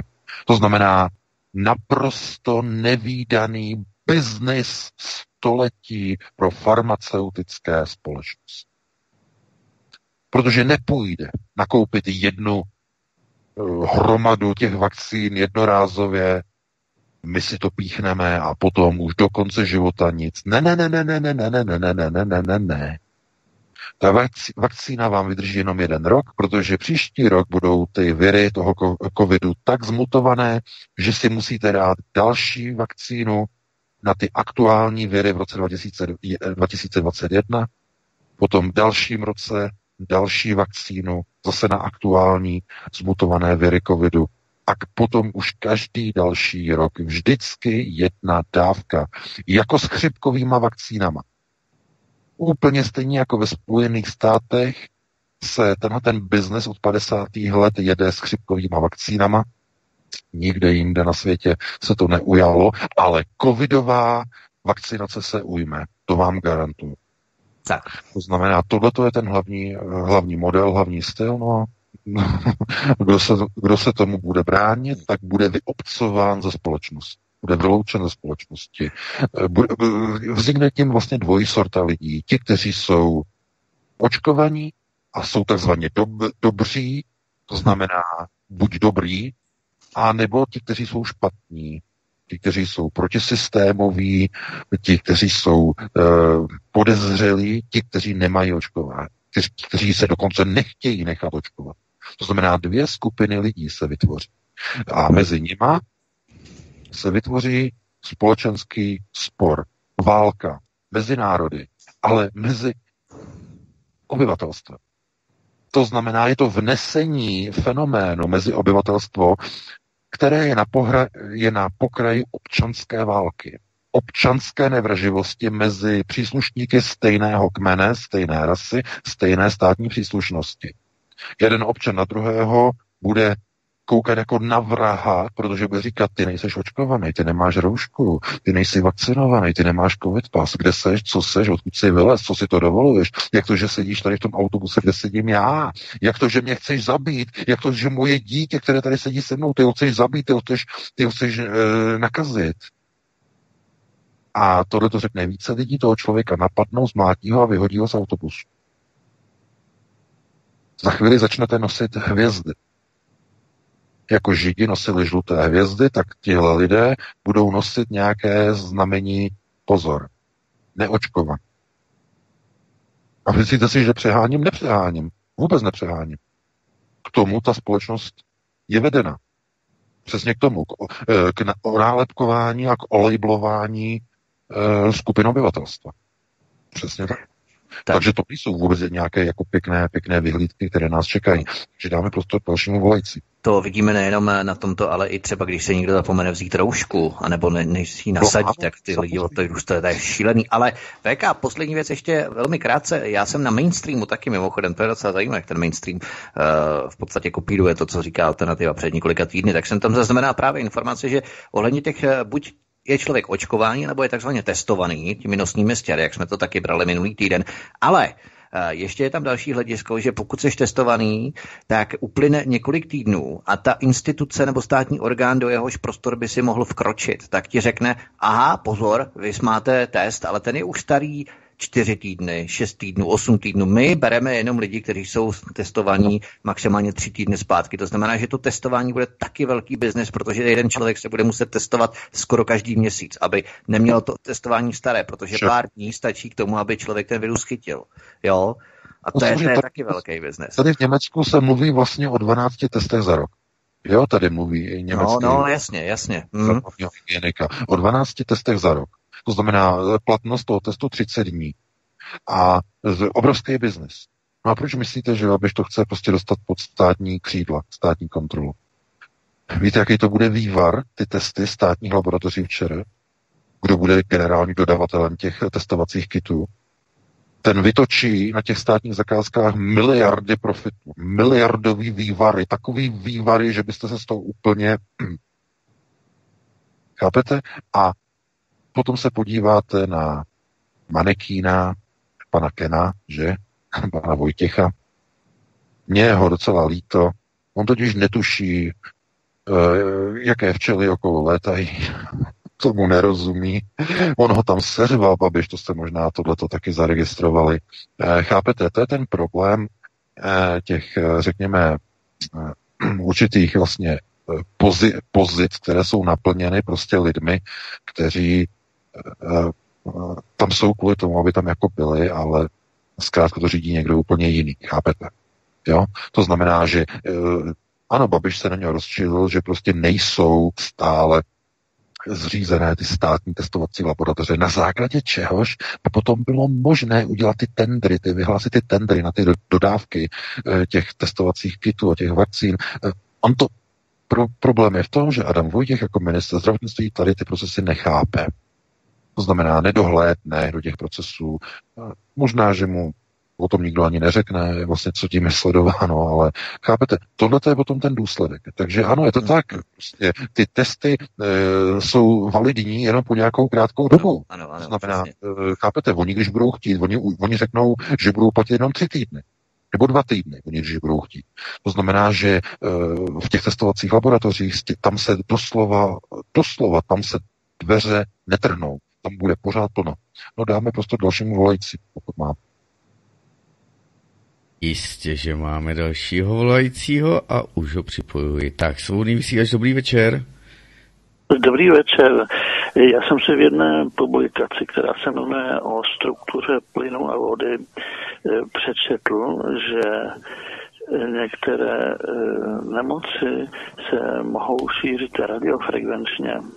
Eh, Poukazím na to bylo například to, že ve Wuhanu když se vypnulo 5G, tak šíření té nemoci ustalo. Mm-hmm. To je moje otázka, jestli tedy o tom něco víte.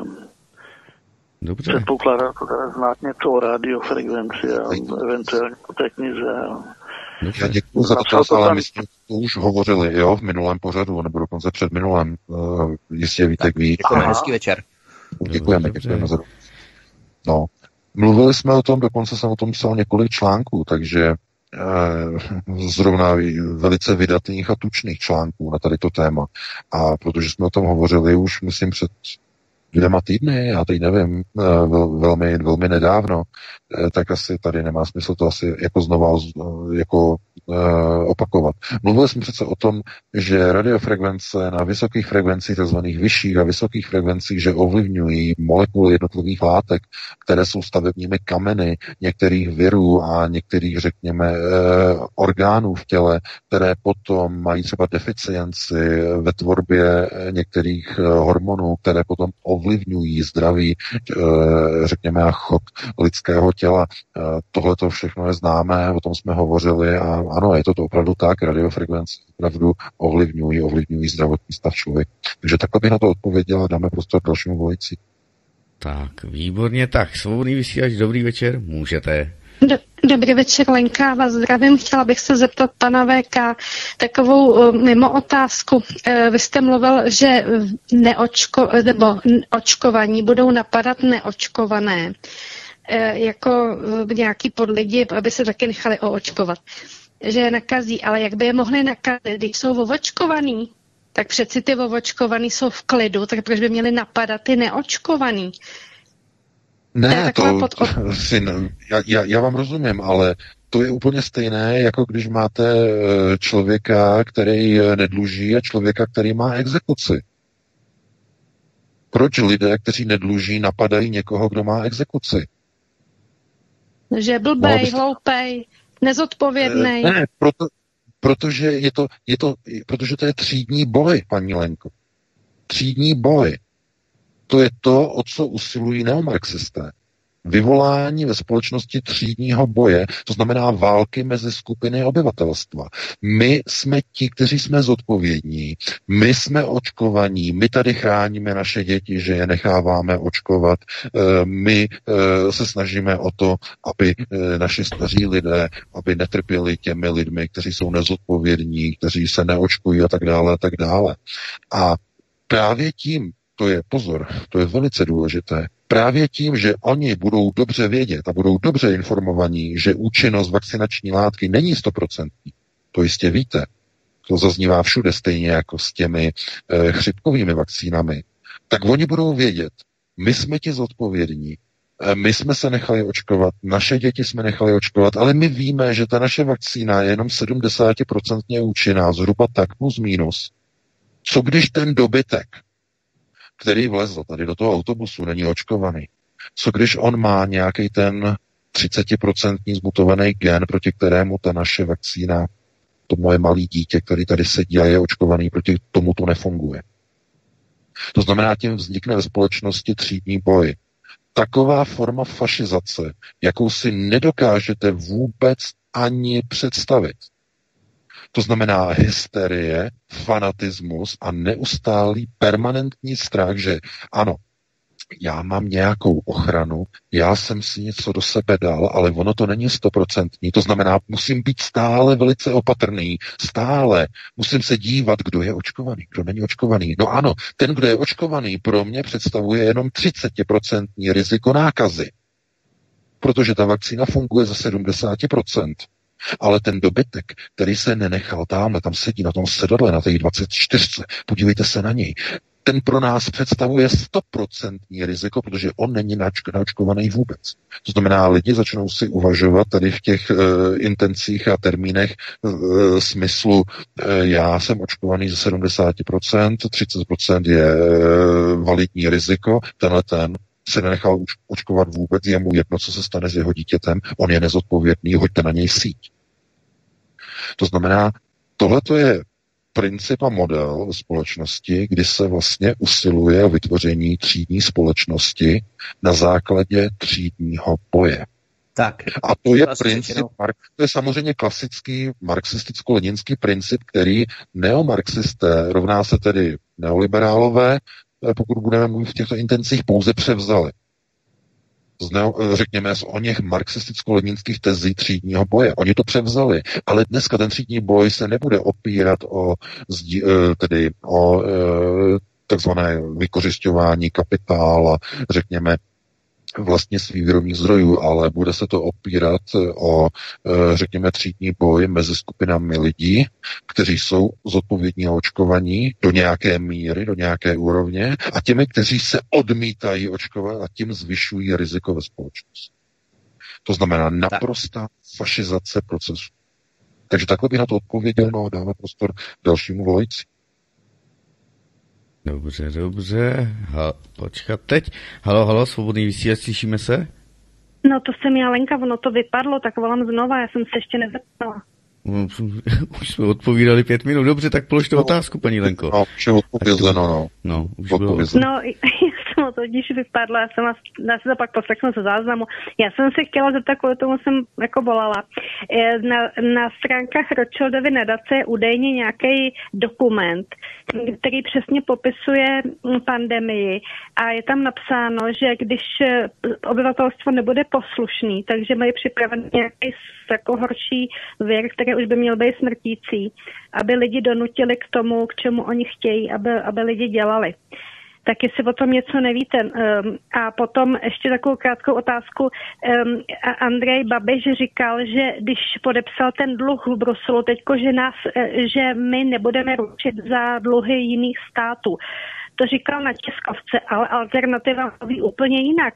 Tak jak je to teda? Budeme ručit anebo nebudeme ručit za dluhy jiných států? Děkuju. Dobře, Končím. děkujeme. Naschle.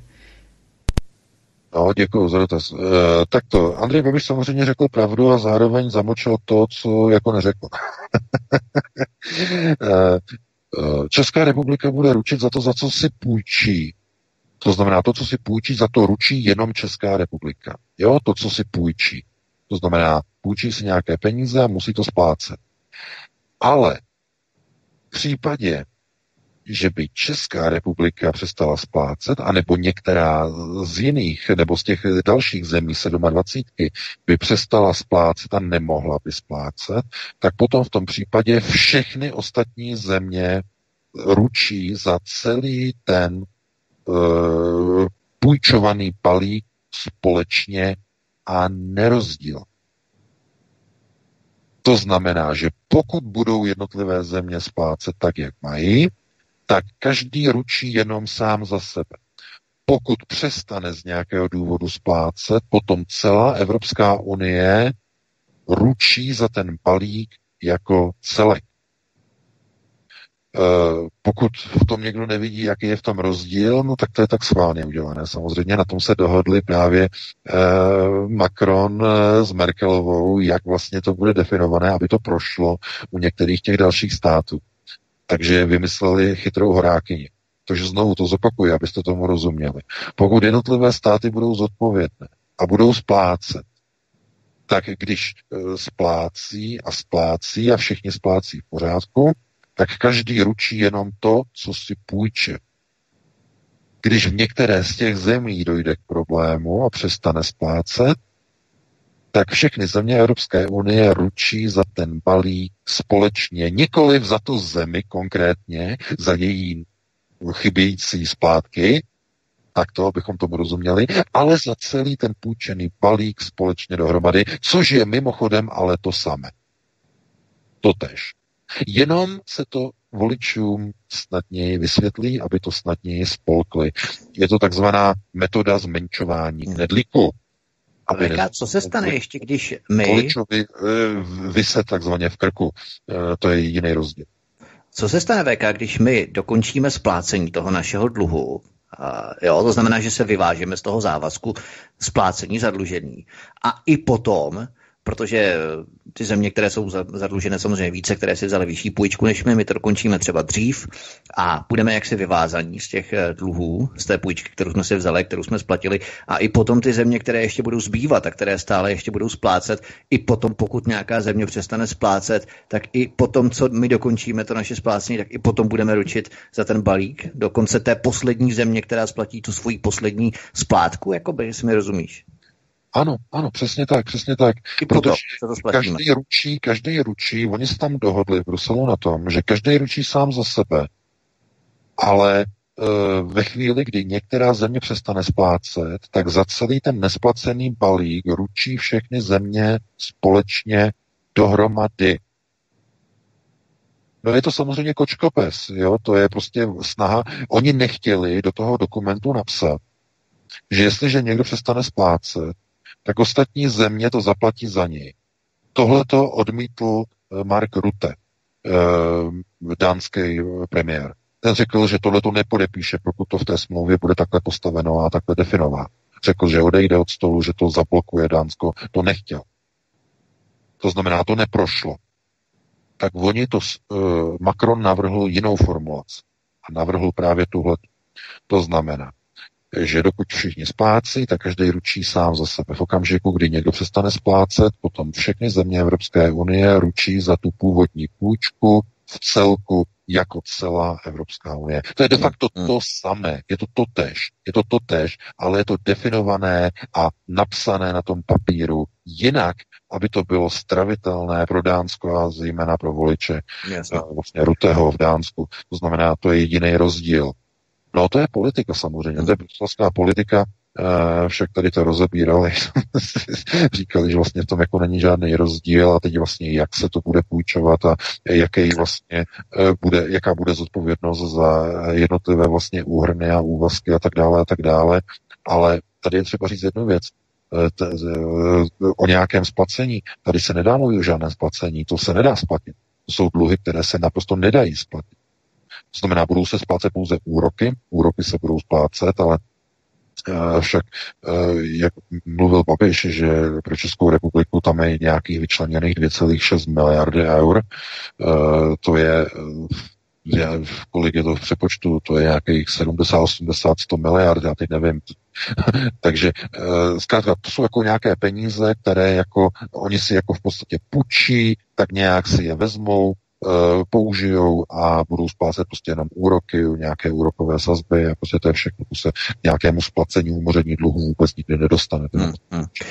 Mimochodem Mark Rutte, není to Holandsko, jenom taková technická poznámka. Mám takové pocit, to Holandsko, ne, Mark Rutte? No, že, ne. myslím, že, te, že, že, že, že říkali, Holandsko? že to je náč.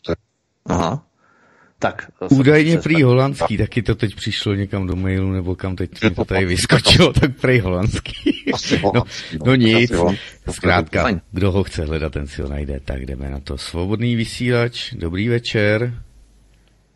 Tak, dobrý večer, eh, tady Karel z Německa a mám tady dotaz na pana jenom jak to okomentuje, protože tady na mě eh, vyskočila na německých novinách jedna aktuální zpráva, že německý ministr zdravotnictví teda dneska na vládě rozhodl, že eh, budou se zřizovat testovací body na německých letištích na koronavirus, nejenom na letištích, ale i teda v přístavech, eh, s tím, že se budou testovat eh, dobrovolně všichni, ale povinně lidi přicházející ze, z těch rizikových zemí, kterých je momentálně podle toho Robert Koch Institut zhruba 660 na světě.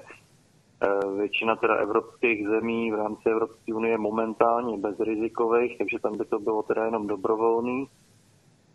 Každopádně, každopádně e, tam ještě jedna důležitá poznámka, že e, tohle je jako první část toho, toho řekněme, tý, toho projektu, e, protože tady to nebude, e, že, že zatím, zatím, zatím tam nebude legální povinnost pro všechny se takto testovat. Takže já se obávám, že přijde doba, kdy kdokoliv, odkudkoliv přijede do Německa, prostě bude muset na nějakým tom vstupním bodu se nechat otestovat a už nebude ani možný si v budoucnu vybrat mezi karanténou a nebo testem. Oni tam říkají, mm-hmm. že, že prostě, Dobře. aby vyhnul karanténě, bude se muset nechat otestovat. Takže Dobře, děkujeme. To zatím děkuji. Na, Děkujeme, hezký večer. Děkujeme. Tak VK.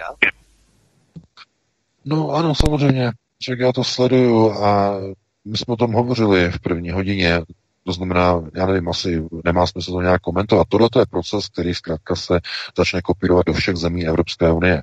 Naprosto jednoznačně. To znamená, celé to vede ke sledování lidí, k jejich očkování a zanášení té informace a testování lidí samozřejmě a k zanášení té informace do centrální databází. To je přesně to, o čem hovořil už na jaře ne na jaře, už minulý rok, koncem roku o tom hovořil Bill Gates.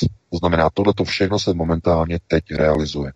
Eh, je to jenom otázka času, kdy to bude naprosto povinné, ne dobrovolné, naprosto povinné úplně všude, ve všech profesích, nejenom na letištích, nejenom na vlakových nádražích, úplně všude, eh, ve školách, v úřadech, když půjdete na úřad, ve veřejných prostorách, v nákupních centrech, v soukromých obchodech, v hospodách, eh, v, já nevím, kadeřnictví, holictví, všude tam budou vyžadované eh, pasy, elektronické pasy, budou se skenovat QR kódy, to znamená všechno v těch chytrých tupých telefonech bude umístěné.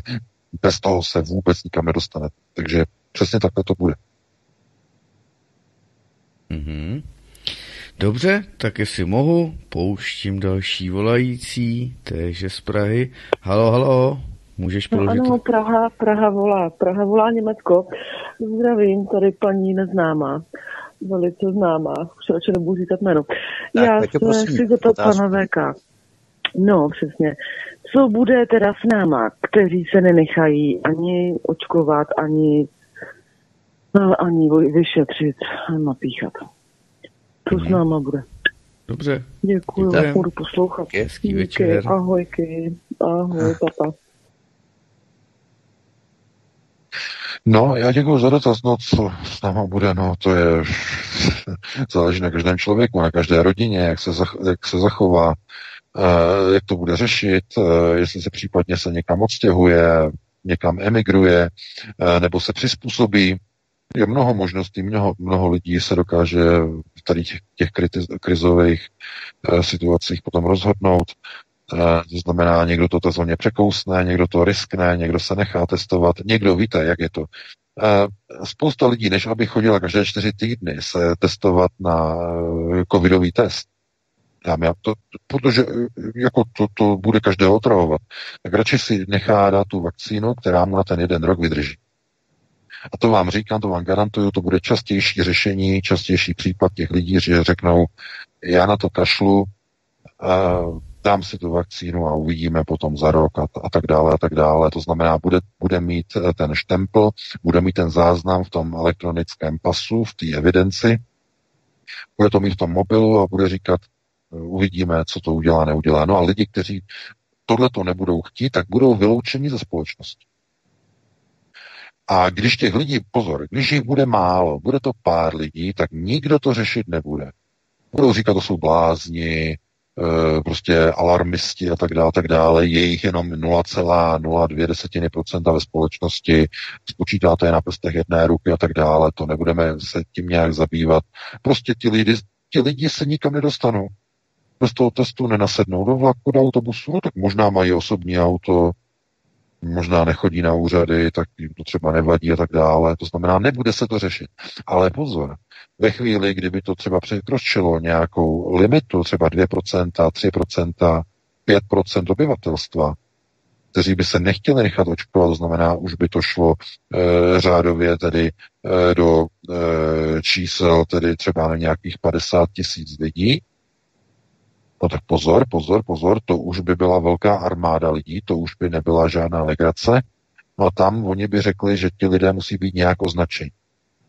Že nejsou očkovaní, to znamená, aby, ne, aby neohrožovali ostatní, aby ostatní se jim vyhýbali. To znamená, že jsou vysoce třeba virulentní. je tam vysoké riziko a oni řeknou, vy nejste očkovaný, vy nemůžete do našeho obchodu vůbec jít. Proto se podívejte do Číny.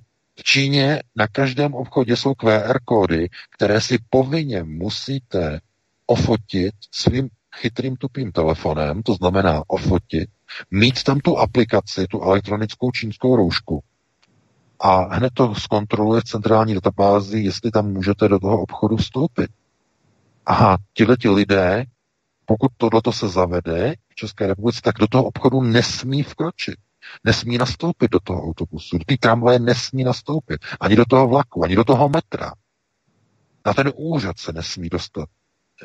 Do obchodu ne, nemůžou vlézt. Všude budou stát takový ti pikolíci a budou to kontrolovat. Jestli ti lidi to fakt skenujou, jestli fakt jako, jako když teď byly ty karantény, Eh, tak jak eh, před nákupníma centrama stály ty bezpečnostní ochránky a kontrolovali lidi, jestli mají roušky, eh, jestli si mejou ruce těma dezinfekčníma šampónama, těma tekutinama, jak to tam měli v těch stojanech připravený všechno. To znamená, všichni na to jako koukají, jestli jo, jestli jste ten, který nedělá potíže, anebo jste ten, který tam přijde bez roušky, projde tam a začnou na něho křičet a hned se kuritáci vyletí jako vosy a hned nemůžete, nemůžete, vraťte se tady tohleto a všichni koukají eh, na něho jako na vrha, co si to dovoluje. Ano, to je ta fašizace ve společnosti. Přesně. Pokud si to chcete vyzkoušet, tak to můžete vyzkoušet už dneska. Sundejte si roušku a jděte nakupovat do nějakých těch e, míst, v těch obchodech, v těch prodejnách, kde to je povinné, ty roušky. No zkuste si to jak vás vyženou svinským krokem, budou křičet, budou ječet ženský za kasama. Je, on nemá roušku, on nás všechny zabije. On nás chce nakazit. Je nezodpovědný, zavolají na něho městskou policii. No, to je ta fašizace, to je přesně ono. Však takhle to bylo ve 30. letech tady v Německu. Bylo na židy. Je žid, vidíte, hned všichni na něj běželi, házeli na něj kameny. To je, chápete fašizace? To je, to je, víte, a tohle to ještě, to musíme ještě probrat, to je velice rychle, to je velice rychle. A všichni jako se říkají, nebo všichni jako říkají, že přece uh, tohle to, co probíhalo uh, v Německu, co probíhalo ve 30. letech, uh, tak lidi se na to jako dívají, no to, co probíhalo v Německu, to přece to byl extremismus e, proti židům, e, to bylo v podstatě to bylo strašný. A bylo to antisemicky motivované a tak dále a tak dále, ale e, uběhlo více jak 75 let od konce války a podívejte se, dneska je to úplně to samé, akorát, že už se nebudou házet kameny na židy s žlutýma hvězdama, ale na goje, kteří nebudou mít hadr na hubě a nebo nebudou mít očkovací covid zápis e, v chytrým tupým telefonu. To znamená, někdo by řekl, no jo, to se vlastně opakuje, ta situace.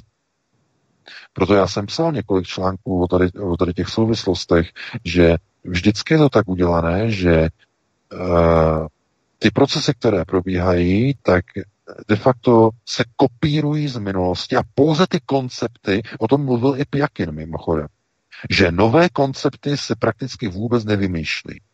Pouze se recyklují a lehce kosmeticky upravují koncepty, které již byly ověřeny a vyzkoušeny v minulosti. To znamená procesy fašizace ve 30. letech tady v Německu, to znamená jejich přenesení do současného stavu ve Spojených státech, Evropě, v jednotlivých nákupních centrech, na veřejném prostranství, na lidi, kteří se odlišují tím, že se nechtějí zařadit politickým, virologickým, zdravotním a řekněme bezpečnostním předpisům, které ta daná situace v dané době, v daném režimu vyžaduje. To znamená lidi v jednom šiku, hadry na hubě, očkovací pasy, e, testy, Tohle to všechno musí lidé podstoupit. Vakcíny, očkování. To znamená, když na tady to lidi nepřistoupí, budou v pozici židů ve 30. letech v Německu. To znamená, budou segregovaní, budou separovaní, budou nežádoucí, budou jim psát nápisy na zdi, eh, na výkladní skříně. Pozor, tady žije neočkovaný.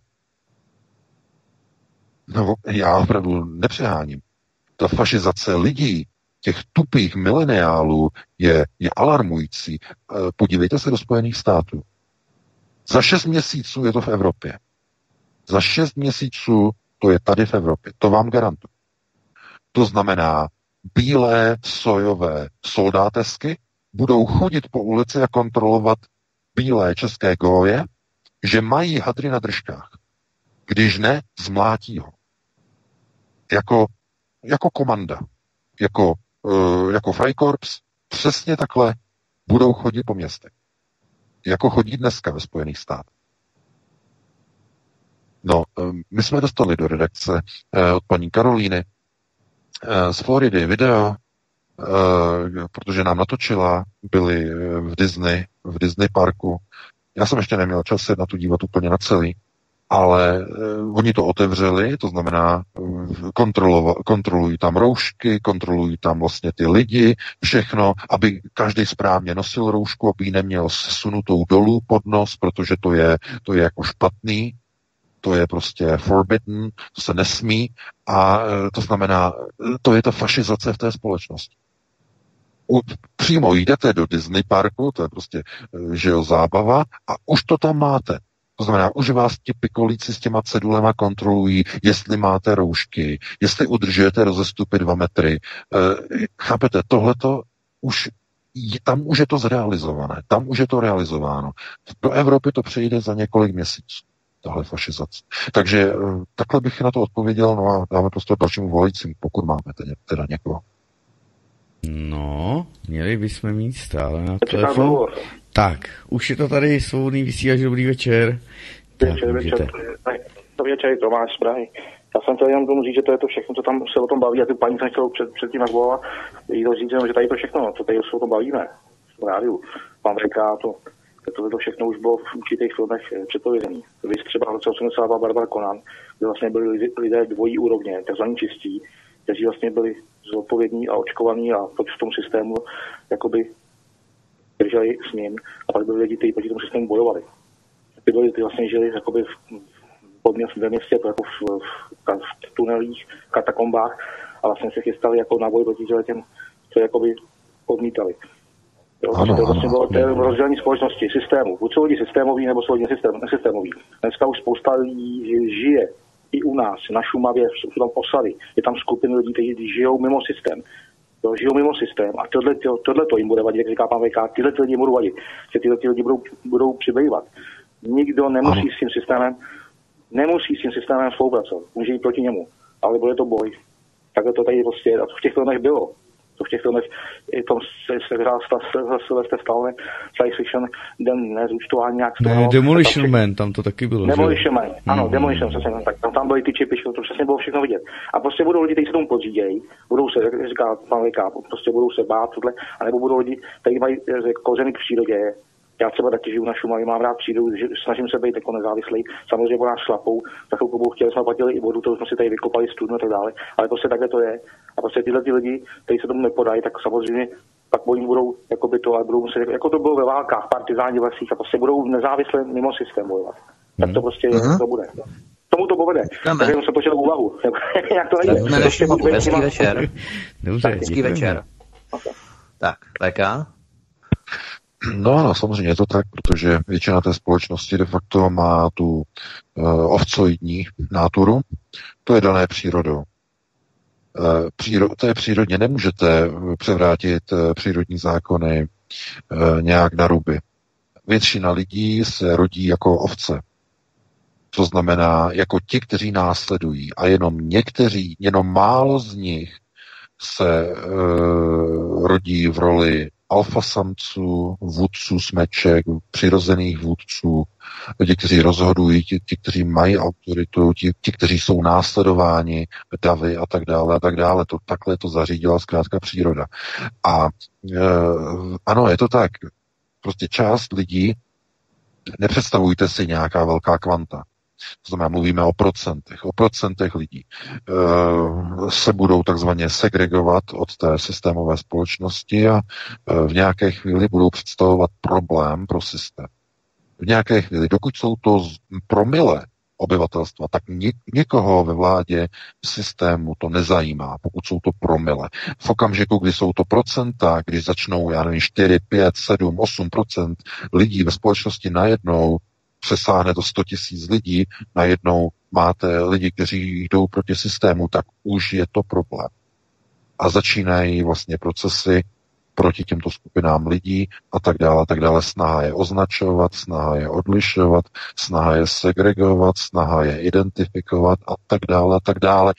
Eh, protože v minulosti už eh, to prošlo, to znamená v minulosti tyhle ty procesy e, probíhaly v rámci tedy po nástupu Adolfa Hitlera k moci, to znamená ty procesy jsou ověřené, jsou verifikované a budou pouze použity s jiným kabátkem a v jiné barvě na současné obyvatelstvo západní civilizace. Dříve tímto procesem prošli židé, teď tím projde gojské obyvatelstvo západních civilizací. To znamená, dříve to byly procesy, které byly namířeny ze strany sionistických procesů řízení proti, eh, řekněme, eh, chasidům nebo chcete-li tedy proti uh, takzvané halaše, to znamená proti, evropsk, proti, evrops, uh, proti evropským halachistickým systémům, to znamená, to byla ta 30. léta tady v Německu, a dnes to bude naopak namířené na uh, veškeré národy, bílé národy, křesťanské národy, nazvěte to, jak to chcete, takzvané západní civilizace. To znamená, ty, ty koncepty zůstávají původní, pouze se lehce upraví a použijí se znovu na čisto na někoho jiného, momentálně tedy na nás. Takže takhle bych to ukončil. No a jestli ještě jednoho vezmeme, jednoho volajícího, jestli stihneme. Mm-hmm. Máme připojeno, tak pouštím do vysílání poslední hovor. Svobodný vysílač, dobrý večer. Dobrý večer, u telefonu Silva z Podkonoší. Docela mě mrzí, že jsem poslední protože nemám žádný dotaz. Jde o to, že mě spolu se mnou vás poslouchá přítel a třeba i další lidé a nevěří tomu, že vás posloucháme live, tak teď bych chtěla domácnosti dokázat, že vás posloucháme live. Ahoj. Dobrý večer. Ale já jsem na začátku říkal, že, že máme 24. července a že čekáme na pane VK. Tak nevím, proč nevěří. Takže to můžeme třeba i předpovědět, aby to sedělo ten datum, že? Ale jsme live, opravdu jsme live a jsme živí, jsme live. Jsme, jsme tady živí a posloucháme živo, no, no, no. Hele, oni chtěli zjistit VK, jestli nejseš u nich náhodou. Hele. Já jsem jo, na to přišel, jestli tam náhodou nejseš a nepřetočil jsi to. asi tam někoho podezřívají uh, za mě, že jo, a chtějí ho pověřit a prověřit, uh, že on není já, asi zřejmě, zřejmě, takhle, takhle to asi bylo myšlet. tak posíláme pozdravy do Podkrkonoší, mějte se hezky. tak, už paní vypla, tak. Super. Tak fajn, tím pádem se rozloučíme, mějte se, milí posluchači, krásně. Martine, děkuji za vysílání, VK, mějte se taky hezky. My jsme tady s vámi samozřejmě 24 hodin denně, takže nás poslouchejte i dál. No a příští pátek po 19. hodině budeme opět s další porcí informací, tentokrát už opravdu téměř včas, dnes to bylo opravdu extrém. My se za to ještě jednou omlouváme, děkujeme vám za vaši solidárnost, pochopení. No a mějte se hezky. VK, ještě uh, dám tobě slovo na rozlučku a mějte se hezky. Díky. No, já se taky loučím s tebou, Vítku, i s tebou, Martěné, se všemi našimi posluchači, eh, se všemi čtenáři, no a doufám, že se vám to líbilo.